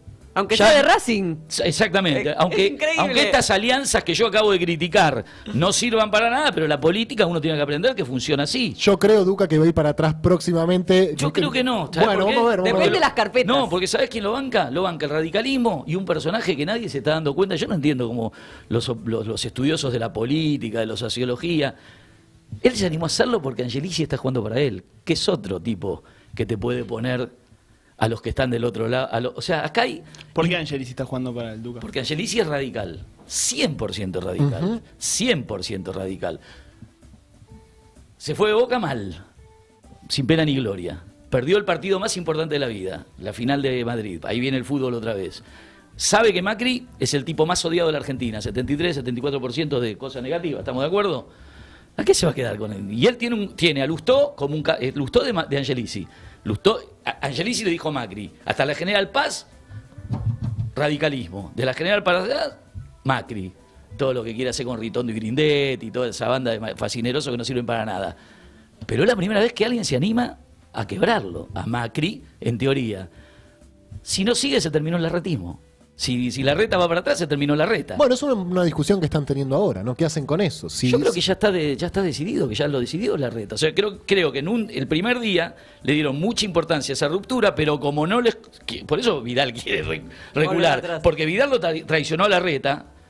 Vidal es un invento de la reta histórico, 100%. desde el primer día de... de- de la Fundación. Exactamente, y se quiso hacer la viva se quiso hacer la viva y se dio cuenta que se queda sin nada. Se va a quedar con el departamento en la isla de 500 mil dólares. Por una política muy poquito. Es muy poquito chorearse medio millón de dólares. Es muy poquito, chiquitito, ¿viste? La miran y dicen, vos sos una boluda. Claro. Es un ángel al final. Claro, al final sos, ángel, sos genial. Lo fuiste, te- estabas, vivías en Aedo, en un departamento, en un PH compartido, y ahora estás en la isla, al lado de Ortega, de Gaudio, y nada, y no tenés plata en el bolsillo, tenés todo en el departamento y lo debes. Lo nombraste a Gaudio, ¿puedo salir de acá un segundo? Salí donde quiera. Nos contás un poco, eh, leí que en un momento difícil de tu vida te fuiste con Gaudio a Las Vegas. Y En pasaron- un momento difícil de los dos, él había tenido terminado una relación amorosa y a mí me habían expulsado, me habían exiliado de Independiente. Y nos hiciste, éramos muy, muy amigos como hermanos. Y no, no una vez no, nos fuimos 10 veces a Las Vegas. Pero Andábamos por hay, la- hay un viaje que es emblemático, ¿no? Sí, es un viaje que, que es emblemático porque estábamos destruidos, éramos dos tipos que nos queríamos eh, queríamos terminar con nuestras vidas y como las películas, Havok Over, no sé cómo se llama, ¿viste? Sí, sí, sí, Vamos a Las. Vegas, que ahí Sí, de alguna o te matan o te pasa algo, o, sea, o, o desapareces de la tierra. Y bueno, la, la- la- la parece- la pasamos muy bien, en- es- y empezamos a ir todos los años, era bárbaro. Eh, dos vagos, ¿viste? ¿Te enviabas? Sí, sí. ¿Te yo iba soy- bien? ¿Te iba Jugaba bien? al póker. Sí, ahí como yo me voy pelado, pelado del fútbol, sin un mango, eh, que eso es lo que me mantuvo vivo, porque si hubiese hecho algo, si me meto contra Grondona y contra Macri, soy un delincuente, Sos voy en boleta, cana. sí. Eh, como me fui totalmente pelado y no de la cabeza, eh, me senté un día en una mesa de póker y empecé a jugar y me empezó a ir bien. Y dije, ah, tengo una solución acá mi vida. Tuca, ¿cómo llega un hincha a ser presidente de un club y a qué te dedicabas vos antes de ser presidente? Yo fui librero 17 años, vendí libros, después llegué a director general de la empresa Librería Santa Fe, que era una como la Jenny, Cúspide. Eh, Era- queda todavía. Sí, claro. Sí, sí, sí. de la familia Eisenberg. Empecé ahí muy chiquito, a los 18 años, va chiquito, cuando salí del colegio, de cadete, y llegué a manejar toda la empresa, que tenía 63 empleados. Entramos con dos sucursales, llegamos a tener siete, hice una carrera muy grande. Y cuando decidí que iba a ser presidente independiente, o sea, como una visión, como un día le dije a Flavio, vamos a hacer un programa y salió bien, dije voy a ser presidente independiente, llegué a un arreglo con el dueño. De una- Eras un hincha raso, nada más. era de la hinchada, no, era un Ah. tipo caracterizado de la hinchada no por la violencia, sino porque era una especie de eh, administrativo de la hinchada. O sea, cuando los pibes caían presos, yo chamullaba y los sacaba. Cuando había que ir a hablar con los dirigentes, yo hablaba. O sea, la hinchada es muy, tiene un poder, un instinto de supervivencia y capta. Eh, es como una agrupación política. Vos servís para esto, vos servís para esto, y a mí vieron que estaba dentro de, ar- arriba de, de- por mi cuestión de, de estudios y de los libros. Yo leí 3.000 libros que no me acuerdo nada, pero los leí eh, y me pusieron en esa función y fui creciendo, fui creciendo y eso me permitía... ¿Cuál era la pregunta? ¿Cómo llega un hincha a ser, Ah, a ser eh, presidente del club? Entonces el, el- el capo del hinchada, Gallego Popey, eh, que trabajaba en política ya, porque también est- estaba creciendo y quería continuar una carrera más que ser jefe de la hinchada, como dijo ahora Diceo que quiere ser dirigente de Boca, me dijo, mira, yo no tengo capacidad para hablar, pero conmigo y vos al lado con lo que hablas, vamos a la política y llegamos. ¿Y fueron los dos? Y él, fueron, fuimos los dos, sí, pero él después quedó, quedó, él se conformó con, era un tipo muy humi- humilde y yo cuando llegué le di trabajo de, con su, él tenía una camioneta, eh, no es como los jefes hinchados ahora que tienen autos importados, celulares de última línea y viajan por el mundo, él era hincha independiente. Y le di trabajo con su camioneta de llevar la ropa a lavar de los jugadores, a la lavandería. Y yo llegué a presidente. ¿Y cómo era la campaña? ¿Cuánta gente vota? ¿Por cuántos No, cómo, en aquel cómo- cómo momento. fue rosquear no, esa elección? Y bueno, muy difícil porque iba contra Grondona yo. Y Grondona eran dos: era Julio y el hermano Héctor, que era presidente de Independiente. Y fue una verdadera, como yo le llamo la batalla imposible, en el programa del Loco y el Cuerdo, porque ya en ese momento de mi vida, que estamos hablando hace 30 años, ganarle, sacar a los, a los Grondona, mi meta era sacar a los Grondona de Independiente, como ahora sacar al Pro. La diferencia que ahí estaba dentro yo, ahora estoy afuera. Y logré después de 27 años consecutivos del grondonismo en Independiente sacarlo. Y no volvieron nunca más. Pero a la vez fue un problema, porque después que me echaron a mí, Independiente empezó una debacle que es el, el presente de hoy. No existe más Independiente como, como entidad eh, de primer nivel. Pero lo vamos a recuperar si se va el PRO, porque está tomado por el PRO Independiente. Hay como un mito, o, Sí. o un mito, no, una leyenda, no sé, un- todo, sí. una, una- una historia que dice que Independiente durante muchos años fue administrado por como eh, esta cosa de los gallegos tacaños que les entraban tres pesos, gastaban Sí, uno, ¿no? De- de- como corresponde. Que lo tenían bien ordenado. Que lo como tenían... Boca, como River ahora. O sea, es un mito, como vos dijiste, eran dirigentes del club de, de ahí, de Avellaneda, no era un, el político, el, el primer diputado del Congreso del Coso o el intendente o la familia nefasta Marconi que eh, tienen propósitos también económicos. Era gente del club que, era del club. O sea, es difícil de, que se entienda porque cambiaron lo- los momentos y las épocas. Hoy todo es negocio, o sea, capitalismo hoy se convirtió en algo tan salvaje que es muy difícil frenar, frenar la bocha, porque cuando un fútbol, un- un- vos preguntabas, eh, los equipos de fútbol, los clubes, manejan millones de dólares. Es el, el cuento que hacemos de que, bueno, la cancha, millones de dólares. Entonces es muy difícil evitar el, eso de, de- de comprar voluntades. Y comprar voluntades, y tengo que volver lamentablemente siempre a Macri, Macri yo lo defino como un vago millonario desquiciado por poder. Y encontró que en el fútbol era mucho más fácil comprar voluntades que en Sogma, Sebel, Que no lo logró nunca, ¿no?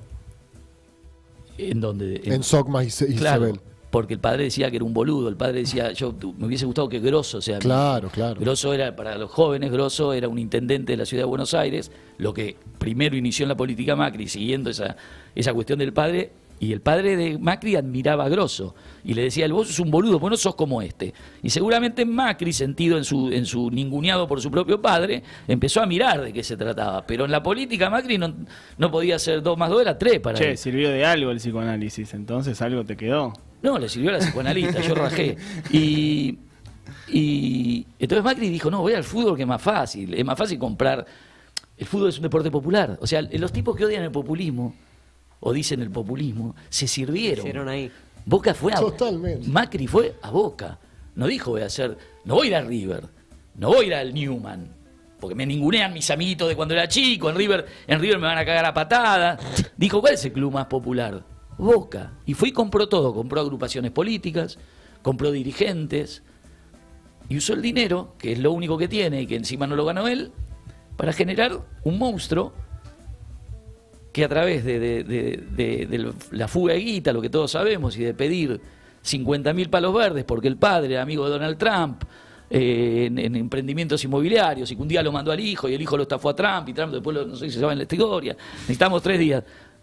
Y dije, no, este boludo, y vamos a ayudarlo. Total, por ahí no- nos va a regalar tierras, Lewy, le vamos a ir copando la Patagonia, todo va a ser nuestro, y del y de General Paz para allá que se mueran de hambre. Y así fue. Y esa es la situación que estamos. Ahora, si todos los políticos no se sientan en una mesa y dicen, che, vamos a cambiar esto, estamos hasta las bolas, porque eh, es ridículo decirlo ya a esta altura, pero vienen por todo. Y, es lamentable. ¿Qué sé yo? Vamos a terminar algunos yéndonos del país, realmente, no como, como lo indican ellos. Otros van a ser perseguidos y otros van a darle de, de servirle la comida, limpiarle el baño y levantar la caca al perro, que es para lo que ellos quieren a los pobres, para ninguna otra cosa, los desprecian. Por eso desprecian a Chiquitapia. Y por eso van a ir por Chiquitapia, por eso desprecian a Riquelme, y van a ir por Riquelme porque quieren recuperar Boca, y ya ganaron Independiente. Eh, o Independiente es un club pro. Pero a la gente le importa ganar el partido, entonces cambiar eso es una batalla, batalla eh, imposible, como lo llamo yo. Eh, ¿Volverías al rojo? No, no, bajo ningún punto de vista. ¿No? No, no, no, porque el grado de corrupción es tan grande que, que te ensucias vos. O sea, a mí me llamaron chorro, loco, drogadicto, eh, me amenazaron de muerte, me amenazaron de ir a la cárcel, me amenazaron de ponerme droga en el auto, me amenazaron de mandar Independiente a la B y en el año 2004 dije, no, si yo no le soy útil al club, ¿para qué quiero estar acá? Si yo no afano. Me fui en el 2004, 14 años de exilio, donde los medios me mataban, decían barbaridades, y muchos graciosos periodistas, para quedar bien con sus jefes, alimentaban eso. ¿Y vos qué hiciste en esos 14 años, Duca? Lloré, me deprimí, me enfermé. No soy víctima, ¿eh? pero te cuento, me preguntaste, te Sí, cuento. sí. Me enfermé, me quedé escondido en mi casa, planeé mi venganza, que es la que estoy llevando a cabo ahora. ¿Estás saliendo bien? Excelente. Sí, me quisieron matar el otro día. Me quisieron rom- me rompieron el auto, me esperaban. O sea, está, están empezando a, a- ¿Entendés? Ahora quiero que venga Burri, quiero que venga Ritondo, pero no tienen huevos. ¿Entendés? ¿Por qué? Porque. ¿Ustedes vieron el padrino?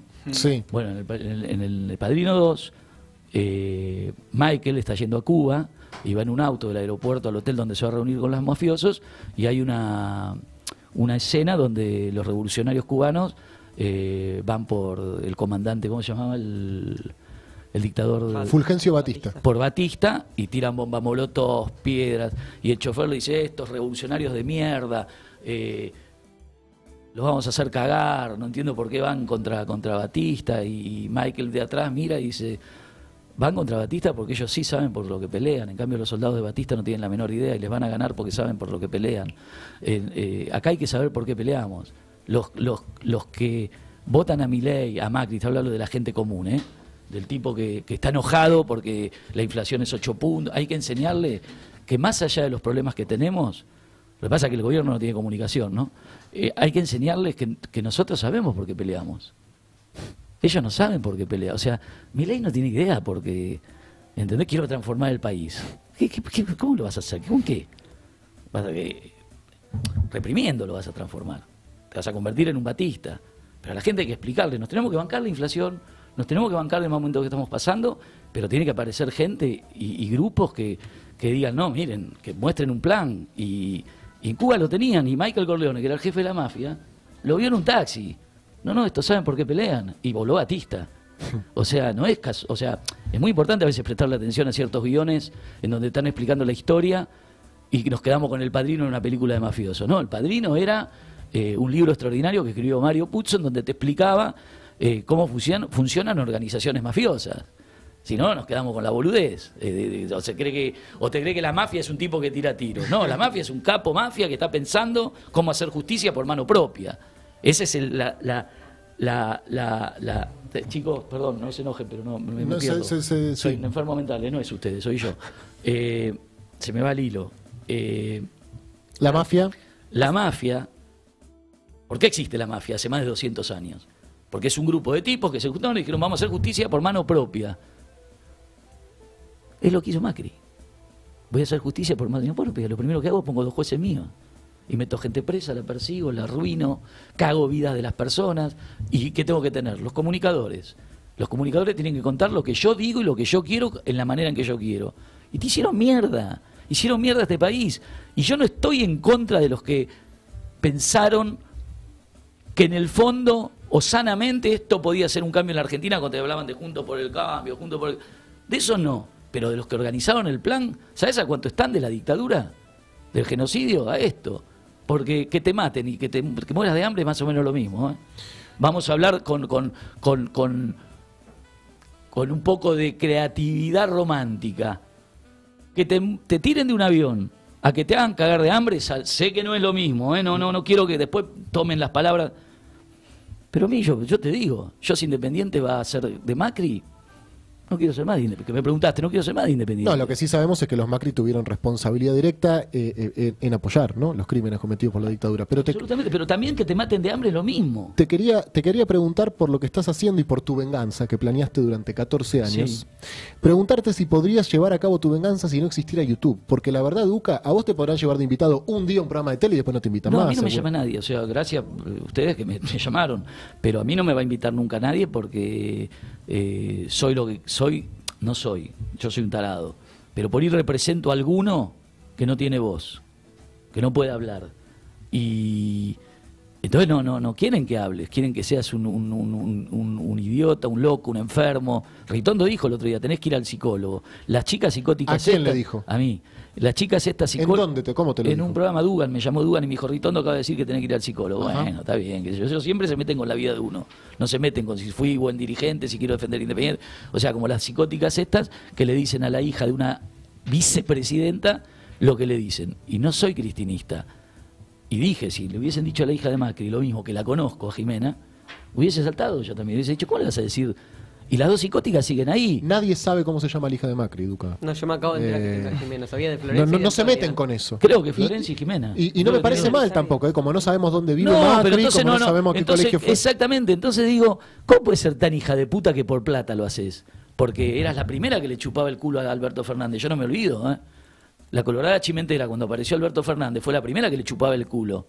Y le decía, ay, Alberto, y lo agarraba de la mano, vestida con un vestido de gala, en un reportaje de como si ella estuviese acá vestida de gala y aquel con frac. Yo diría, che, algo está pasando acá, están equivocados. No estaría mal. Bueno. Tendríamos que venir de gala un día. Bueno, sí, la próxima vez que yo venga, por La favor, les pido que se vistan de gala. Entonces, esa misma psicótica puede al otro día eh, atacar a una piba, boludo, que no que se dedica al cine, a la literatura, a- que es una genia aparte porque todo lo que pone es bueno, como hay millones de chicas y millones de chicos.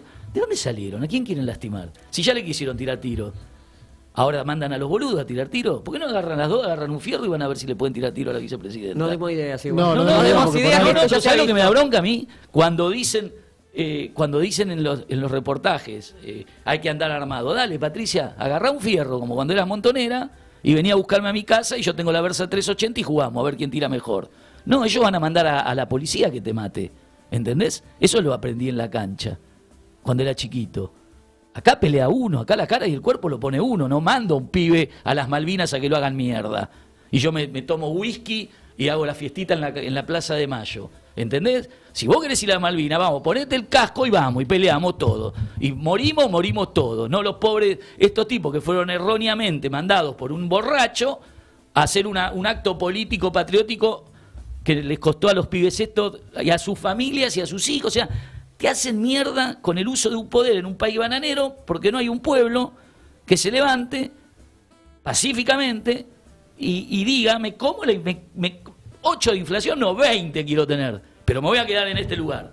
No me van a convencer que la inflación es el, por eso tengo que votar a eh, Patricia Burrich. ¿Entendés? O sea, porque hay inflación. Ahora, si el gobierno no hace nada y- Y, la gente no hace nada, estamos hasta las bolas. O sea, quiero que venga un político que me diga quiénes están dispuestos a comernos un 40% de inflación, pero no a estar sometidos a la eterna, eh, al eterno pie negro de la cultura colonizadora. Y yo te digo que ahí ganamos. Ahora, si no hay nada, si los otros tienen cinco candidatos que son todos delincuentes. Si encima que tenés 8% de inflación no subís a nadie al ring y somos Exactamente. letas. Entonces, ¿qué hago yo? Y bueno, yo ya estoy pensando dónde me voy a vivir, eh, si me voy a comprar otra Versa, porque me va a dejar Patricia Burrich, entonces cuando me vengan a buscar voy a defenderme hasta morir, como hizo Rodolfo Walsh. Eh, ¿Qué sé yo? Ahora, no puedo creer que en este país de tanto fútbol y de que metimos 6 millones en la calle cuando salimos campeones del mundo, de esos 6 millones no hay 4 que se puedan sentar y explicar un poquito lo que tenemos que hacer y decir cómo son las cosas. Yo lo vi al gato silvestre haciéndole una nota a Grindetti hace dos días y yo era un consumidor de gato silvestre porque la verdad, la realidad y me la metí en, después de 15 años me la metí en el, de encuentro, me la metí, me la metí en el culo la realidad. Porque le hizo una nota a, a Grindetti, porque como ya tienen pautado todo el pro, usan en todos los casos. O sea, ¿entendés? Tienen, amortizan. Y dije, este tipo me engañó durante 15 años. Te interrumpo porque tenemos que ir a una tanda. Está muy lindo el municipio de Lanús. Si querés conocer Lanús, podés... No, Duca, mentira. Acá no, acá no, acá no, acá no. ¿Sabés qué? Pero este es, No, es un chiste. pero es legítimo. No, por Pero supuesto. vos por eso no vas a decirme, me estuviste hablando 15 años. En contra de- eh, no en contra, me estuviste planteando otra ideología, la que yo adhiero porque veo que fue, nos robaron un país. Y cuando te ponen una pauta, hacele la nota, pero hacele una repregunta. Cuando el tipo dice, arreglé Independiente, y yo sé que Independiente tiene 80 millones de pesos por mes de déficit, decirle, mire maestro que tienen 80%. Ahora, si le haces la nota para amortizar una pauta que ya está puesta anticipadamente por Patricia Burri para la gobernación, entonces no sos el periodista de la realidad, sos el periodista de tu realidad. Entonces me engañaste, entonces no te miro más, porque puedo mirar a Morín, puedo mirar a, a los locos esos que están todos locos a la noche, los caníbales, puedo mirar otros programas como miro a Pani. Porque no, pues si no te dicen, ah, C5N sos, sos progres, sos hijo de puta. No, miro a Pani también, porque es un tipo que tiene cultura, está preparado, te dice cosas interesantes. Cuando lo tiene que matar a, con Adamón, los liquida. Cuando tiene que matar a Macri, los liquida. Ahora, hijo de puta, ¿qué país quieren hacer? Córtenla un poco con la guita, todo por la guita, todo por la guita, todo por la guita. Si van a un cajón, le van a poner la tapa y no se llevan nada. O sea, el día que los ricos de este país, la clase media alta, aprenda a despojarse de las cosas, este país va a ser extraordinario. Como dice un tipo como Maslatón, que no lo entiendo, pero me encanta, ¿viste? Porque le, le confío a veces, ¿viste? Está abrazado a... O sea, pero me dice las cosas claramente, ¿no? no me Después sé que, sé que si profundizo un poco, pero, es, eh, boludo, no puede ser que no haya un político en- del otro lado. ¿Entendés lo que te- Es muy triste, boludo, porque entonces empiezo a sentir que me engañó también Alberto. Y es triste que me engañe un tipo tibio, pero que me despertó una esperanza hace un par de años, ¿entendés? Me, da bronca. Y no tengo. eh, debe ser un buen tipo, es honesto. Un político de raza, un tipo que estuvo con Kirchner. O sea, todo es tranza, boludo. Cuando llegás ya terminó, por eso me fui independiente, porque quisieron comprarme un campeón, que yo no salga campeón. Y dije, usted está loco, yo soy independiente hasta los huevos. Y me vienen a decir que no salga campeón para que Macri haga su carrera política Y como salí campeón me echaron a la mierda, porque no habíamos terminado de explicar de eso. Entonces me hicieron causas, me amenazaron de muerte. Lo mismo que ahora que hablo, me rompieron el auto, llego a mi casa, hay dos tipos capuchados en la puerta para amedrentar. ¿Por qué? Porque el negocio lo- se los hago mierda, como se los hice mierda en el 2002, porque si ganaba Macri, el campeonato, los diarios el otro día, Clarín, Olé, todo el grupo ese vendía 10 veces más que si ganaba Independiente. Y viene un pelotudo de la barra brava, honesto, no, hay que generarle el jarrón de Coppola. No pudieron. Pero yo no soy nadie. Ahora, los tipos que tienen poder, ¿dónde está? ¿Dónde están los tipos que tienen verdadero poder y que piensan que lo otro es una cagada para la gente pobre? Acá hay un solo tema que hay que resolver en la Argentina, porque ustedes, yo y los chicos vamos a zafar siempre. Porque estudiaron, porque tienen preparación, porque, los argentinos somos de, zafar. Pero los pibes pobres y las chicas pobres que, no, que las cogen en la esquina y las violan, no tienen salida. ¿Me entendés lo que te quiero decir? No tienen salida. Porque a estos tipos no les interesa esa gente. Esa gente que me corte el pasto y me cambie el agua de la pileta. Y que no accedan a nadie más. Es como los mexicanos en Estados Unidos. Habrán viajado. Es muy difícil que un mexicano en Estados Unidos, salvo que compro venda merca, o tenga una lucidez total, es muy difícil que puedan acceder a cuestiones que, no pueden acceder. Ahora, si nosotros tenemos un país impresionante y se lo regalamos a Benetton, al boludo ese de Lewis y al catarí, somos unos hijos de puta. ¿Entendés? Y si yo le regalo Independiente al PRO, soy un mal hincha independiente. Y si lo sacan a Riquelme, que es bostero, que lo saque un tipo que sea bostero. No que venga otra vez Macri porque lo echaron de todos lados a querer volver a empezar. Boludo, ¿no lo ven? ¿No lo ven? No es tan difícil. Lo veo yo que soy un idiota, boludo. Yo soy un tipo elemental, pero te lo digo con sinceridad, no me estoy haciendo el artista, boludo. Yo tengo problemas, tengo que tomar remedios, eh, la paso como el orto, encontré en el programa un lugar para hablar porque soy un gran hablador, pero no puedo cambiar la historia. Ahora hay gente que la puede cambiar la historia. Terminen de estar guardados y escondidos. Cámbienla, como el pibe que en el contra Batista tiraba una bomba molotov y el taxista decía, "Eh, estos boludos van a perder, como dicen acá los taxistas, hay que votar. Los taxistas votaron a Macri en el 2015, ¿eh? Vos te subías un taxi, le decías a quién vas? yo me desesperé, tomaba taxi, gastaba guita para ver qué me decían los taxistas. ¿Quién vas a votar? A Macri, te decían, vos. Salvo mi papá que votó otra cosa. A Boca. Salvo a- mi papá Trosco. Claro, voy a votar, voy a votar a Boca. Y Michael desde atrás, desde el taxi, Michael dijo, mirá que estos saben por qué pelean. Ahora, después podés cuestionar mil cosas de, la revolución cubana, ¿correcto? Podemos discutir mil cosas. Pero el pibe que no tenía para comer, comió. Acá el pibe que no tiene para comer, viola o roba, muchachos. No hay otra alternativa, pero no es la teoría de Patricia Burg. Entonces, hagámoslo más mierda, metámoslo preso y que no salga más. No. El Estado le tiene que dar educación, contención, para eso están los clubes de fútbol, las asociaciones civiles. Pero es más, tan fácil es, tan fácil. Y siguen hablando de que a ver con quién van para robar más o robar menos. O sea, yo los veo y no lo puedo creer. ¿Qué?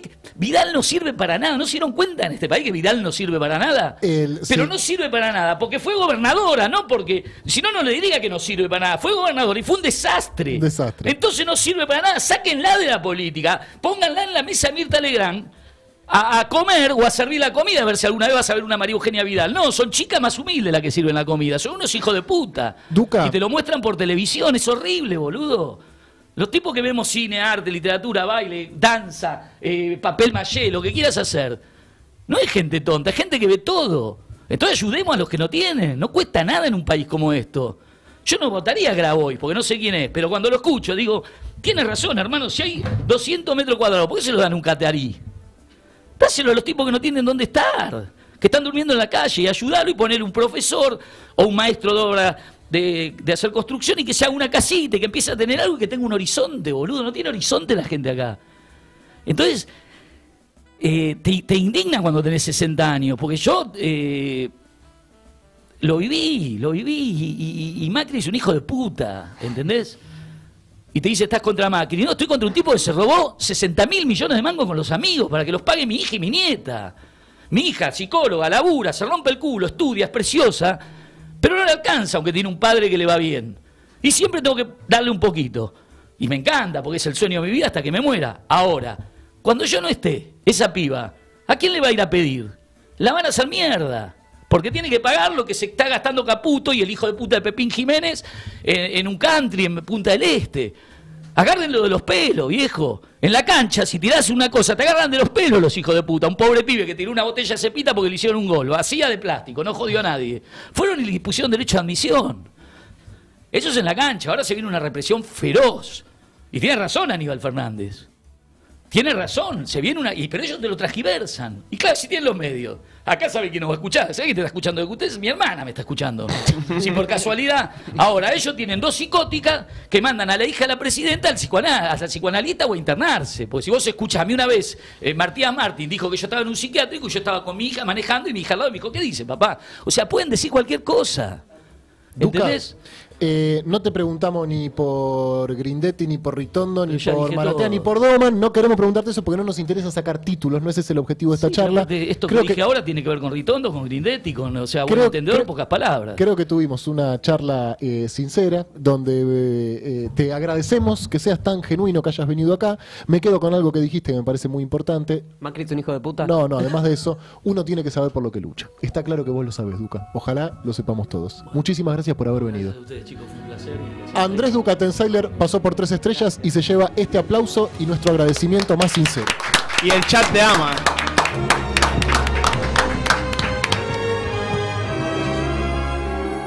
¿Querés aprender inglés? Hacelo en el Centro Universitario de Idiomas. Cursos por Zoom, abierta la inscripción. También exámenes internacionales, plataforma online y talleres. Certificados y diplomas UBA. Informes en www.cui.edu.ar o al 53 53 3000.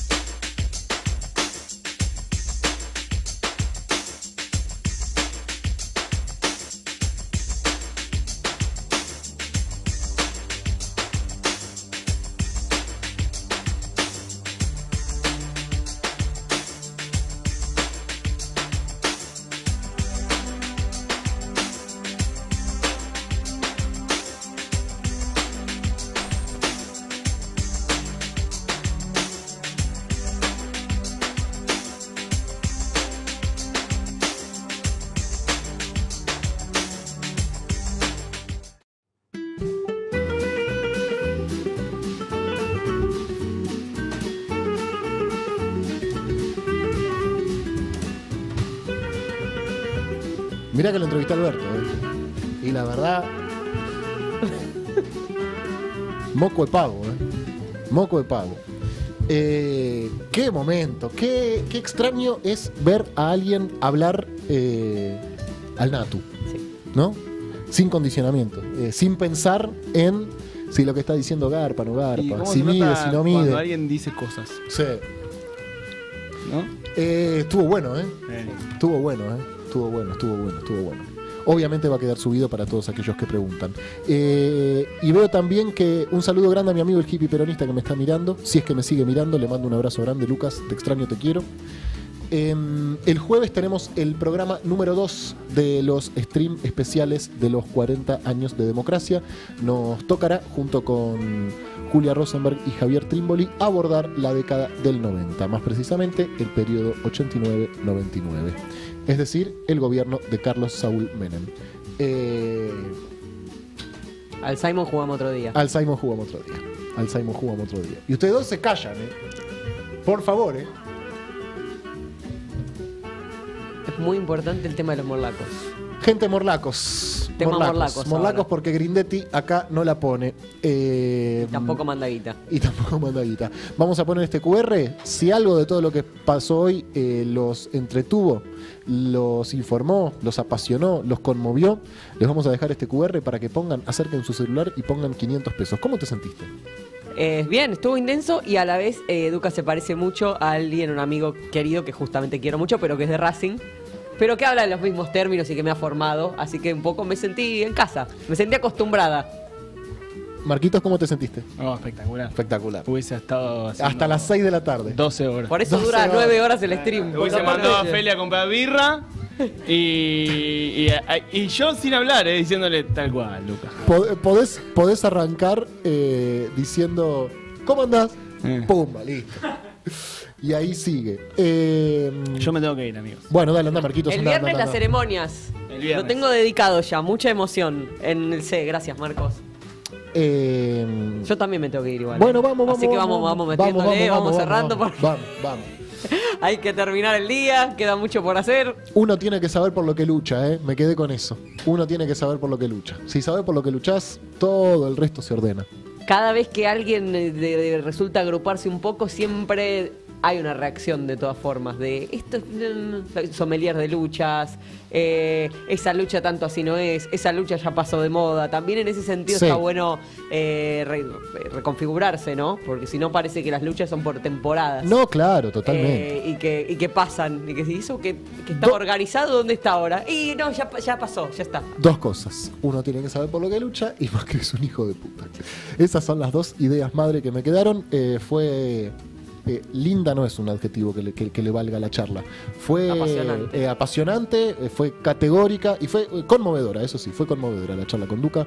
Eh, un gran invitado. Excelente, Felue. Muchísimas gracias. Hoy mejor, ¿o no? Hoy bien, hoy bien, hoy hicimos un La buen verdad, programa. bárbaro. Hoy hicimos un buen programa. Muchas gracias, Sofi. No pagué las empanadas, ¿eh?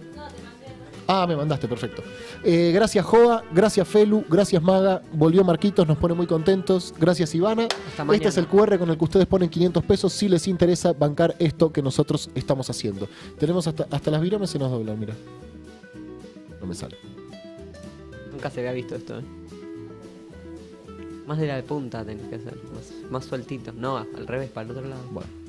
Anda esta virome. Gente, Con esto y un bizcocho hasta mañana a las 8. Correcto. Con esto y un bizcocho hasta mañana a las 8. Hoy es martes, lo que significa que hay, no hay clase a partir de las 10 de la noche desde Rosario por la pantalla de gelatina. Hasta acá, ¿algo más tengo que decir? Chau, nos vemos. Chau.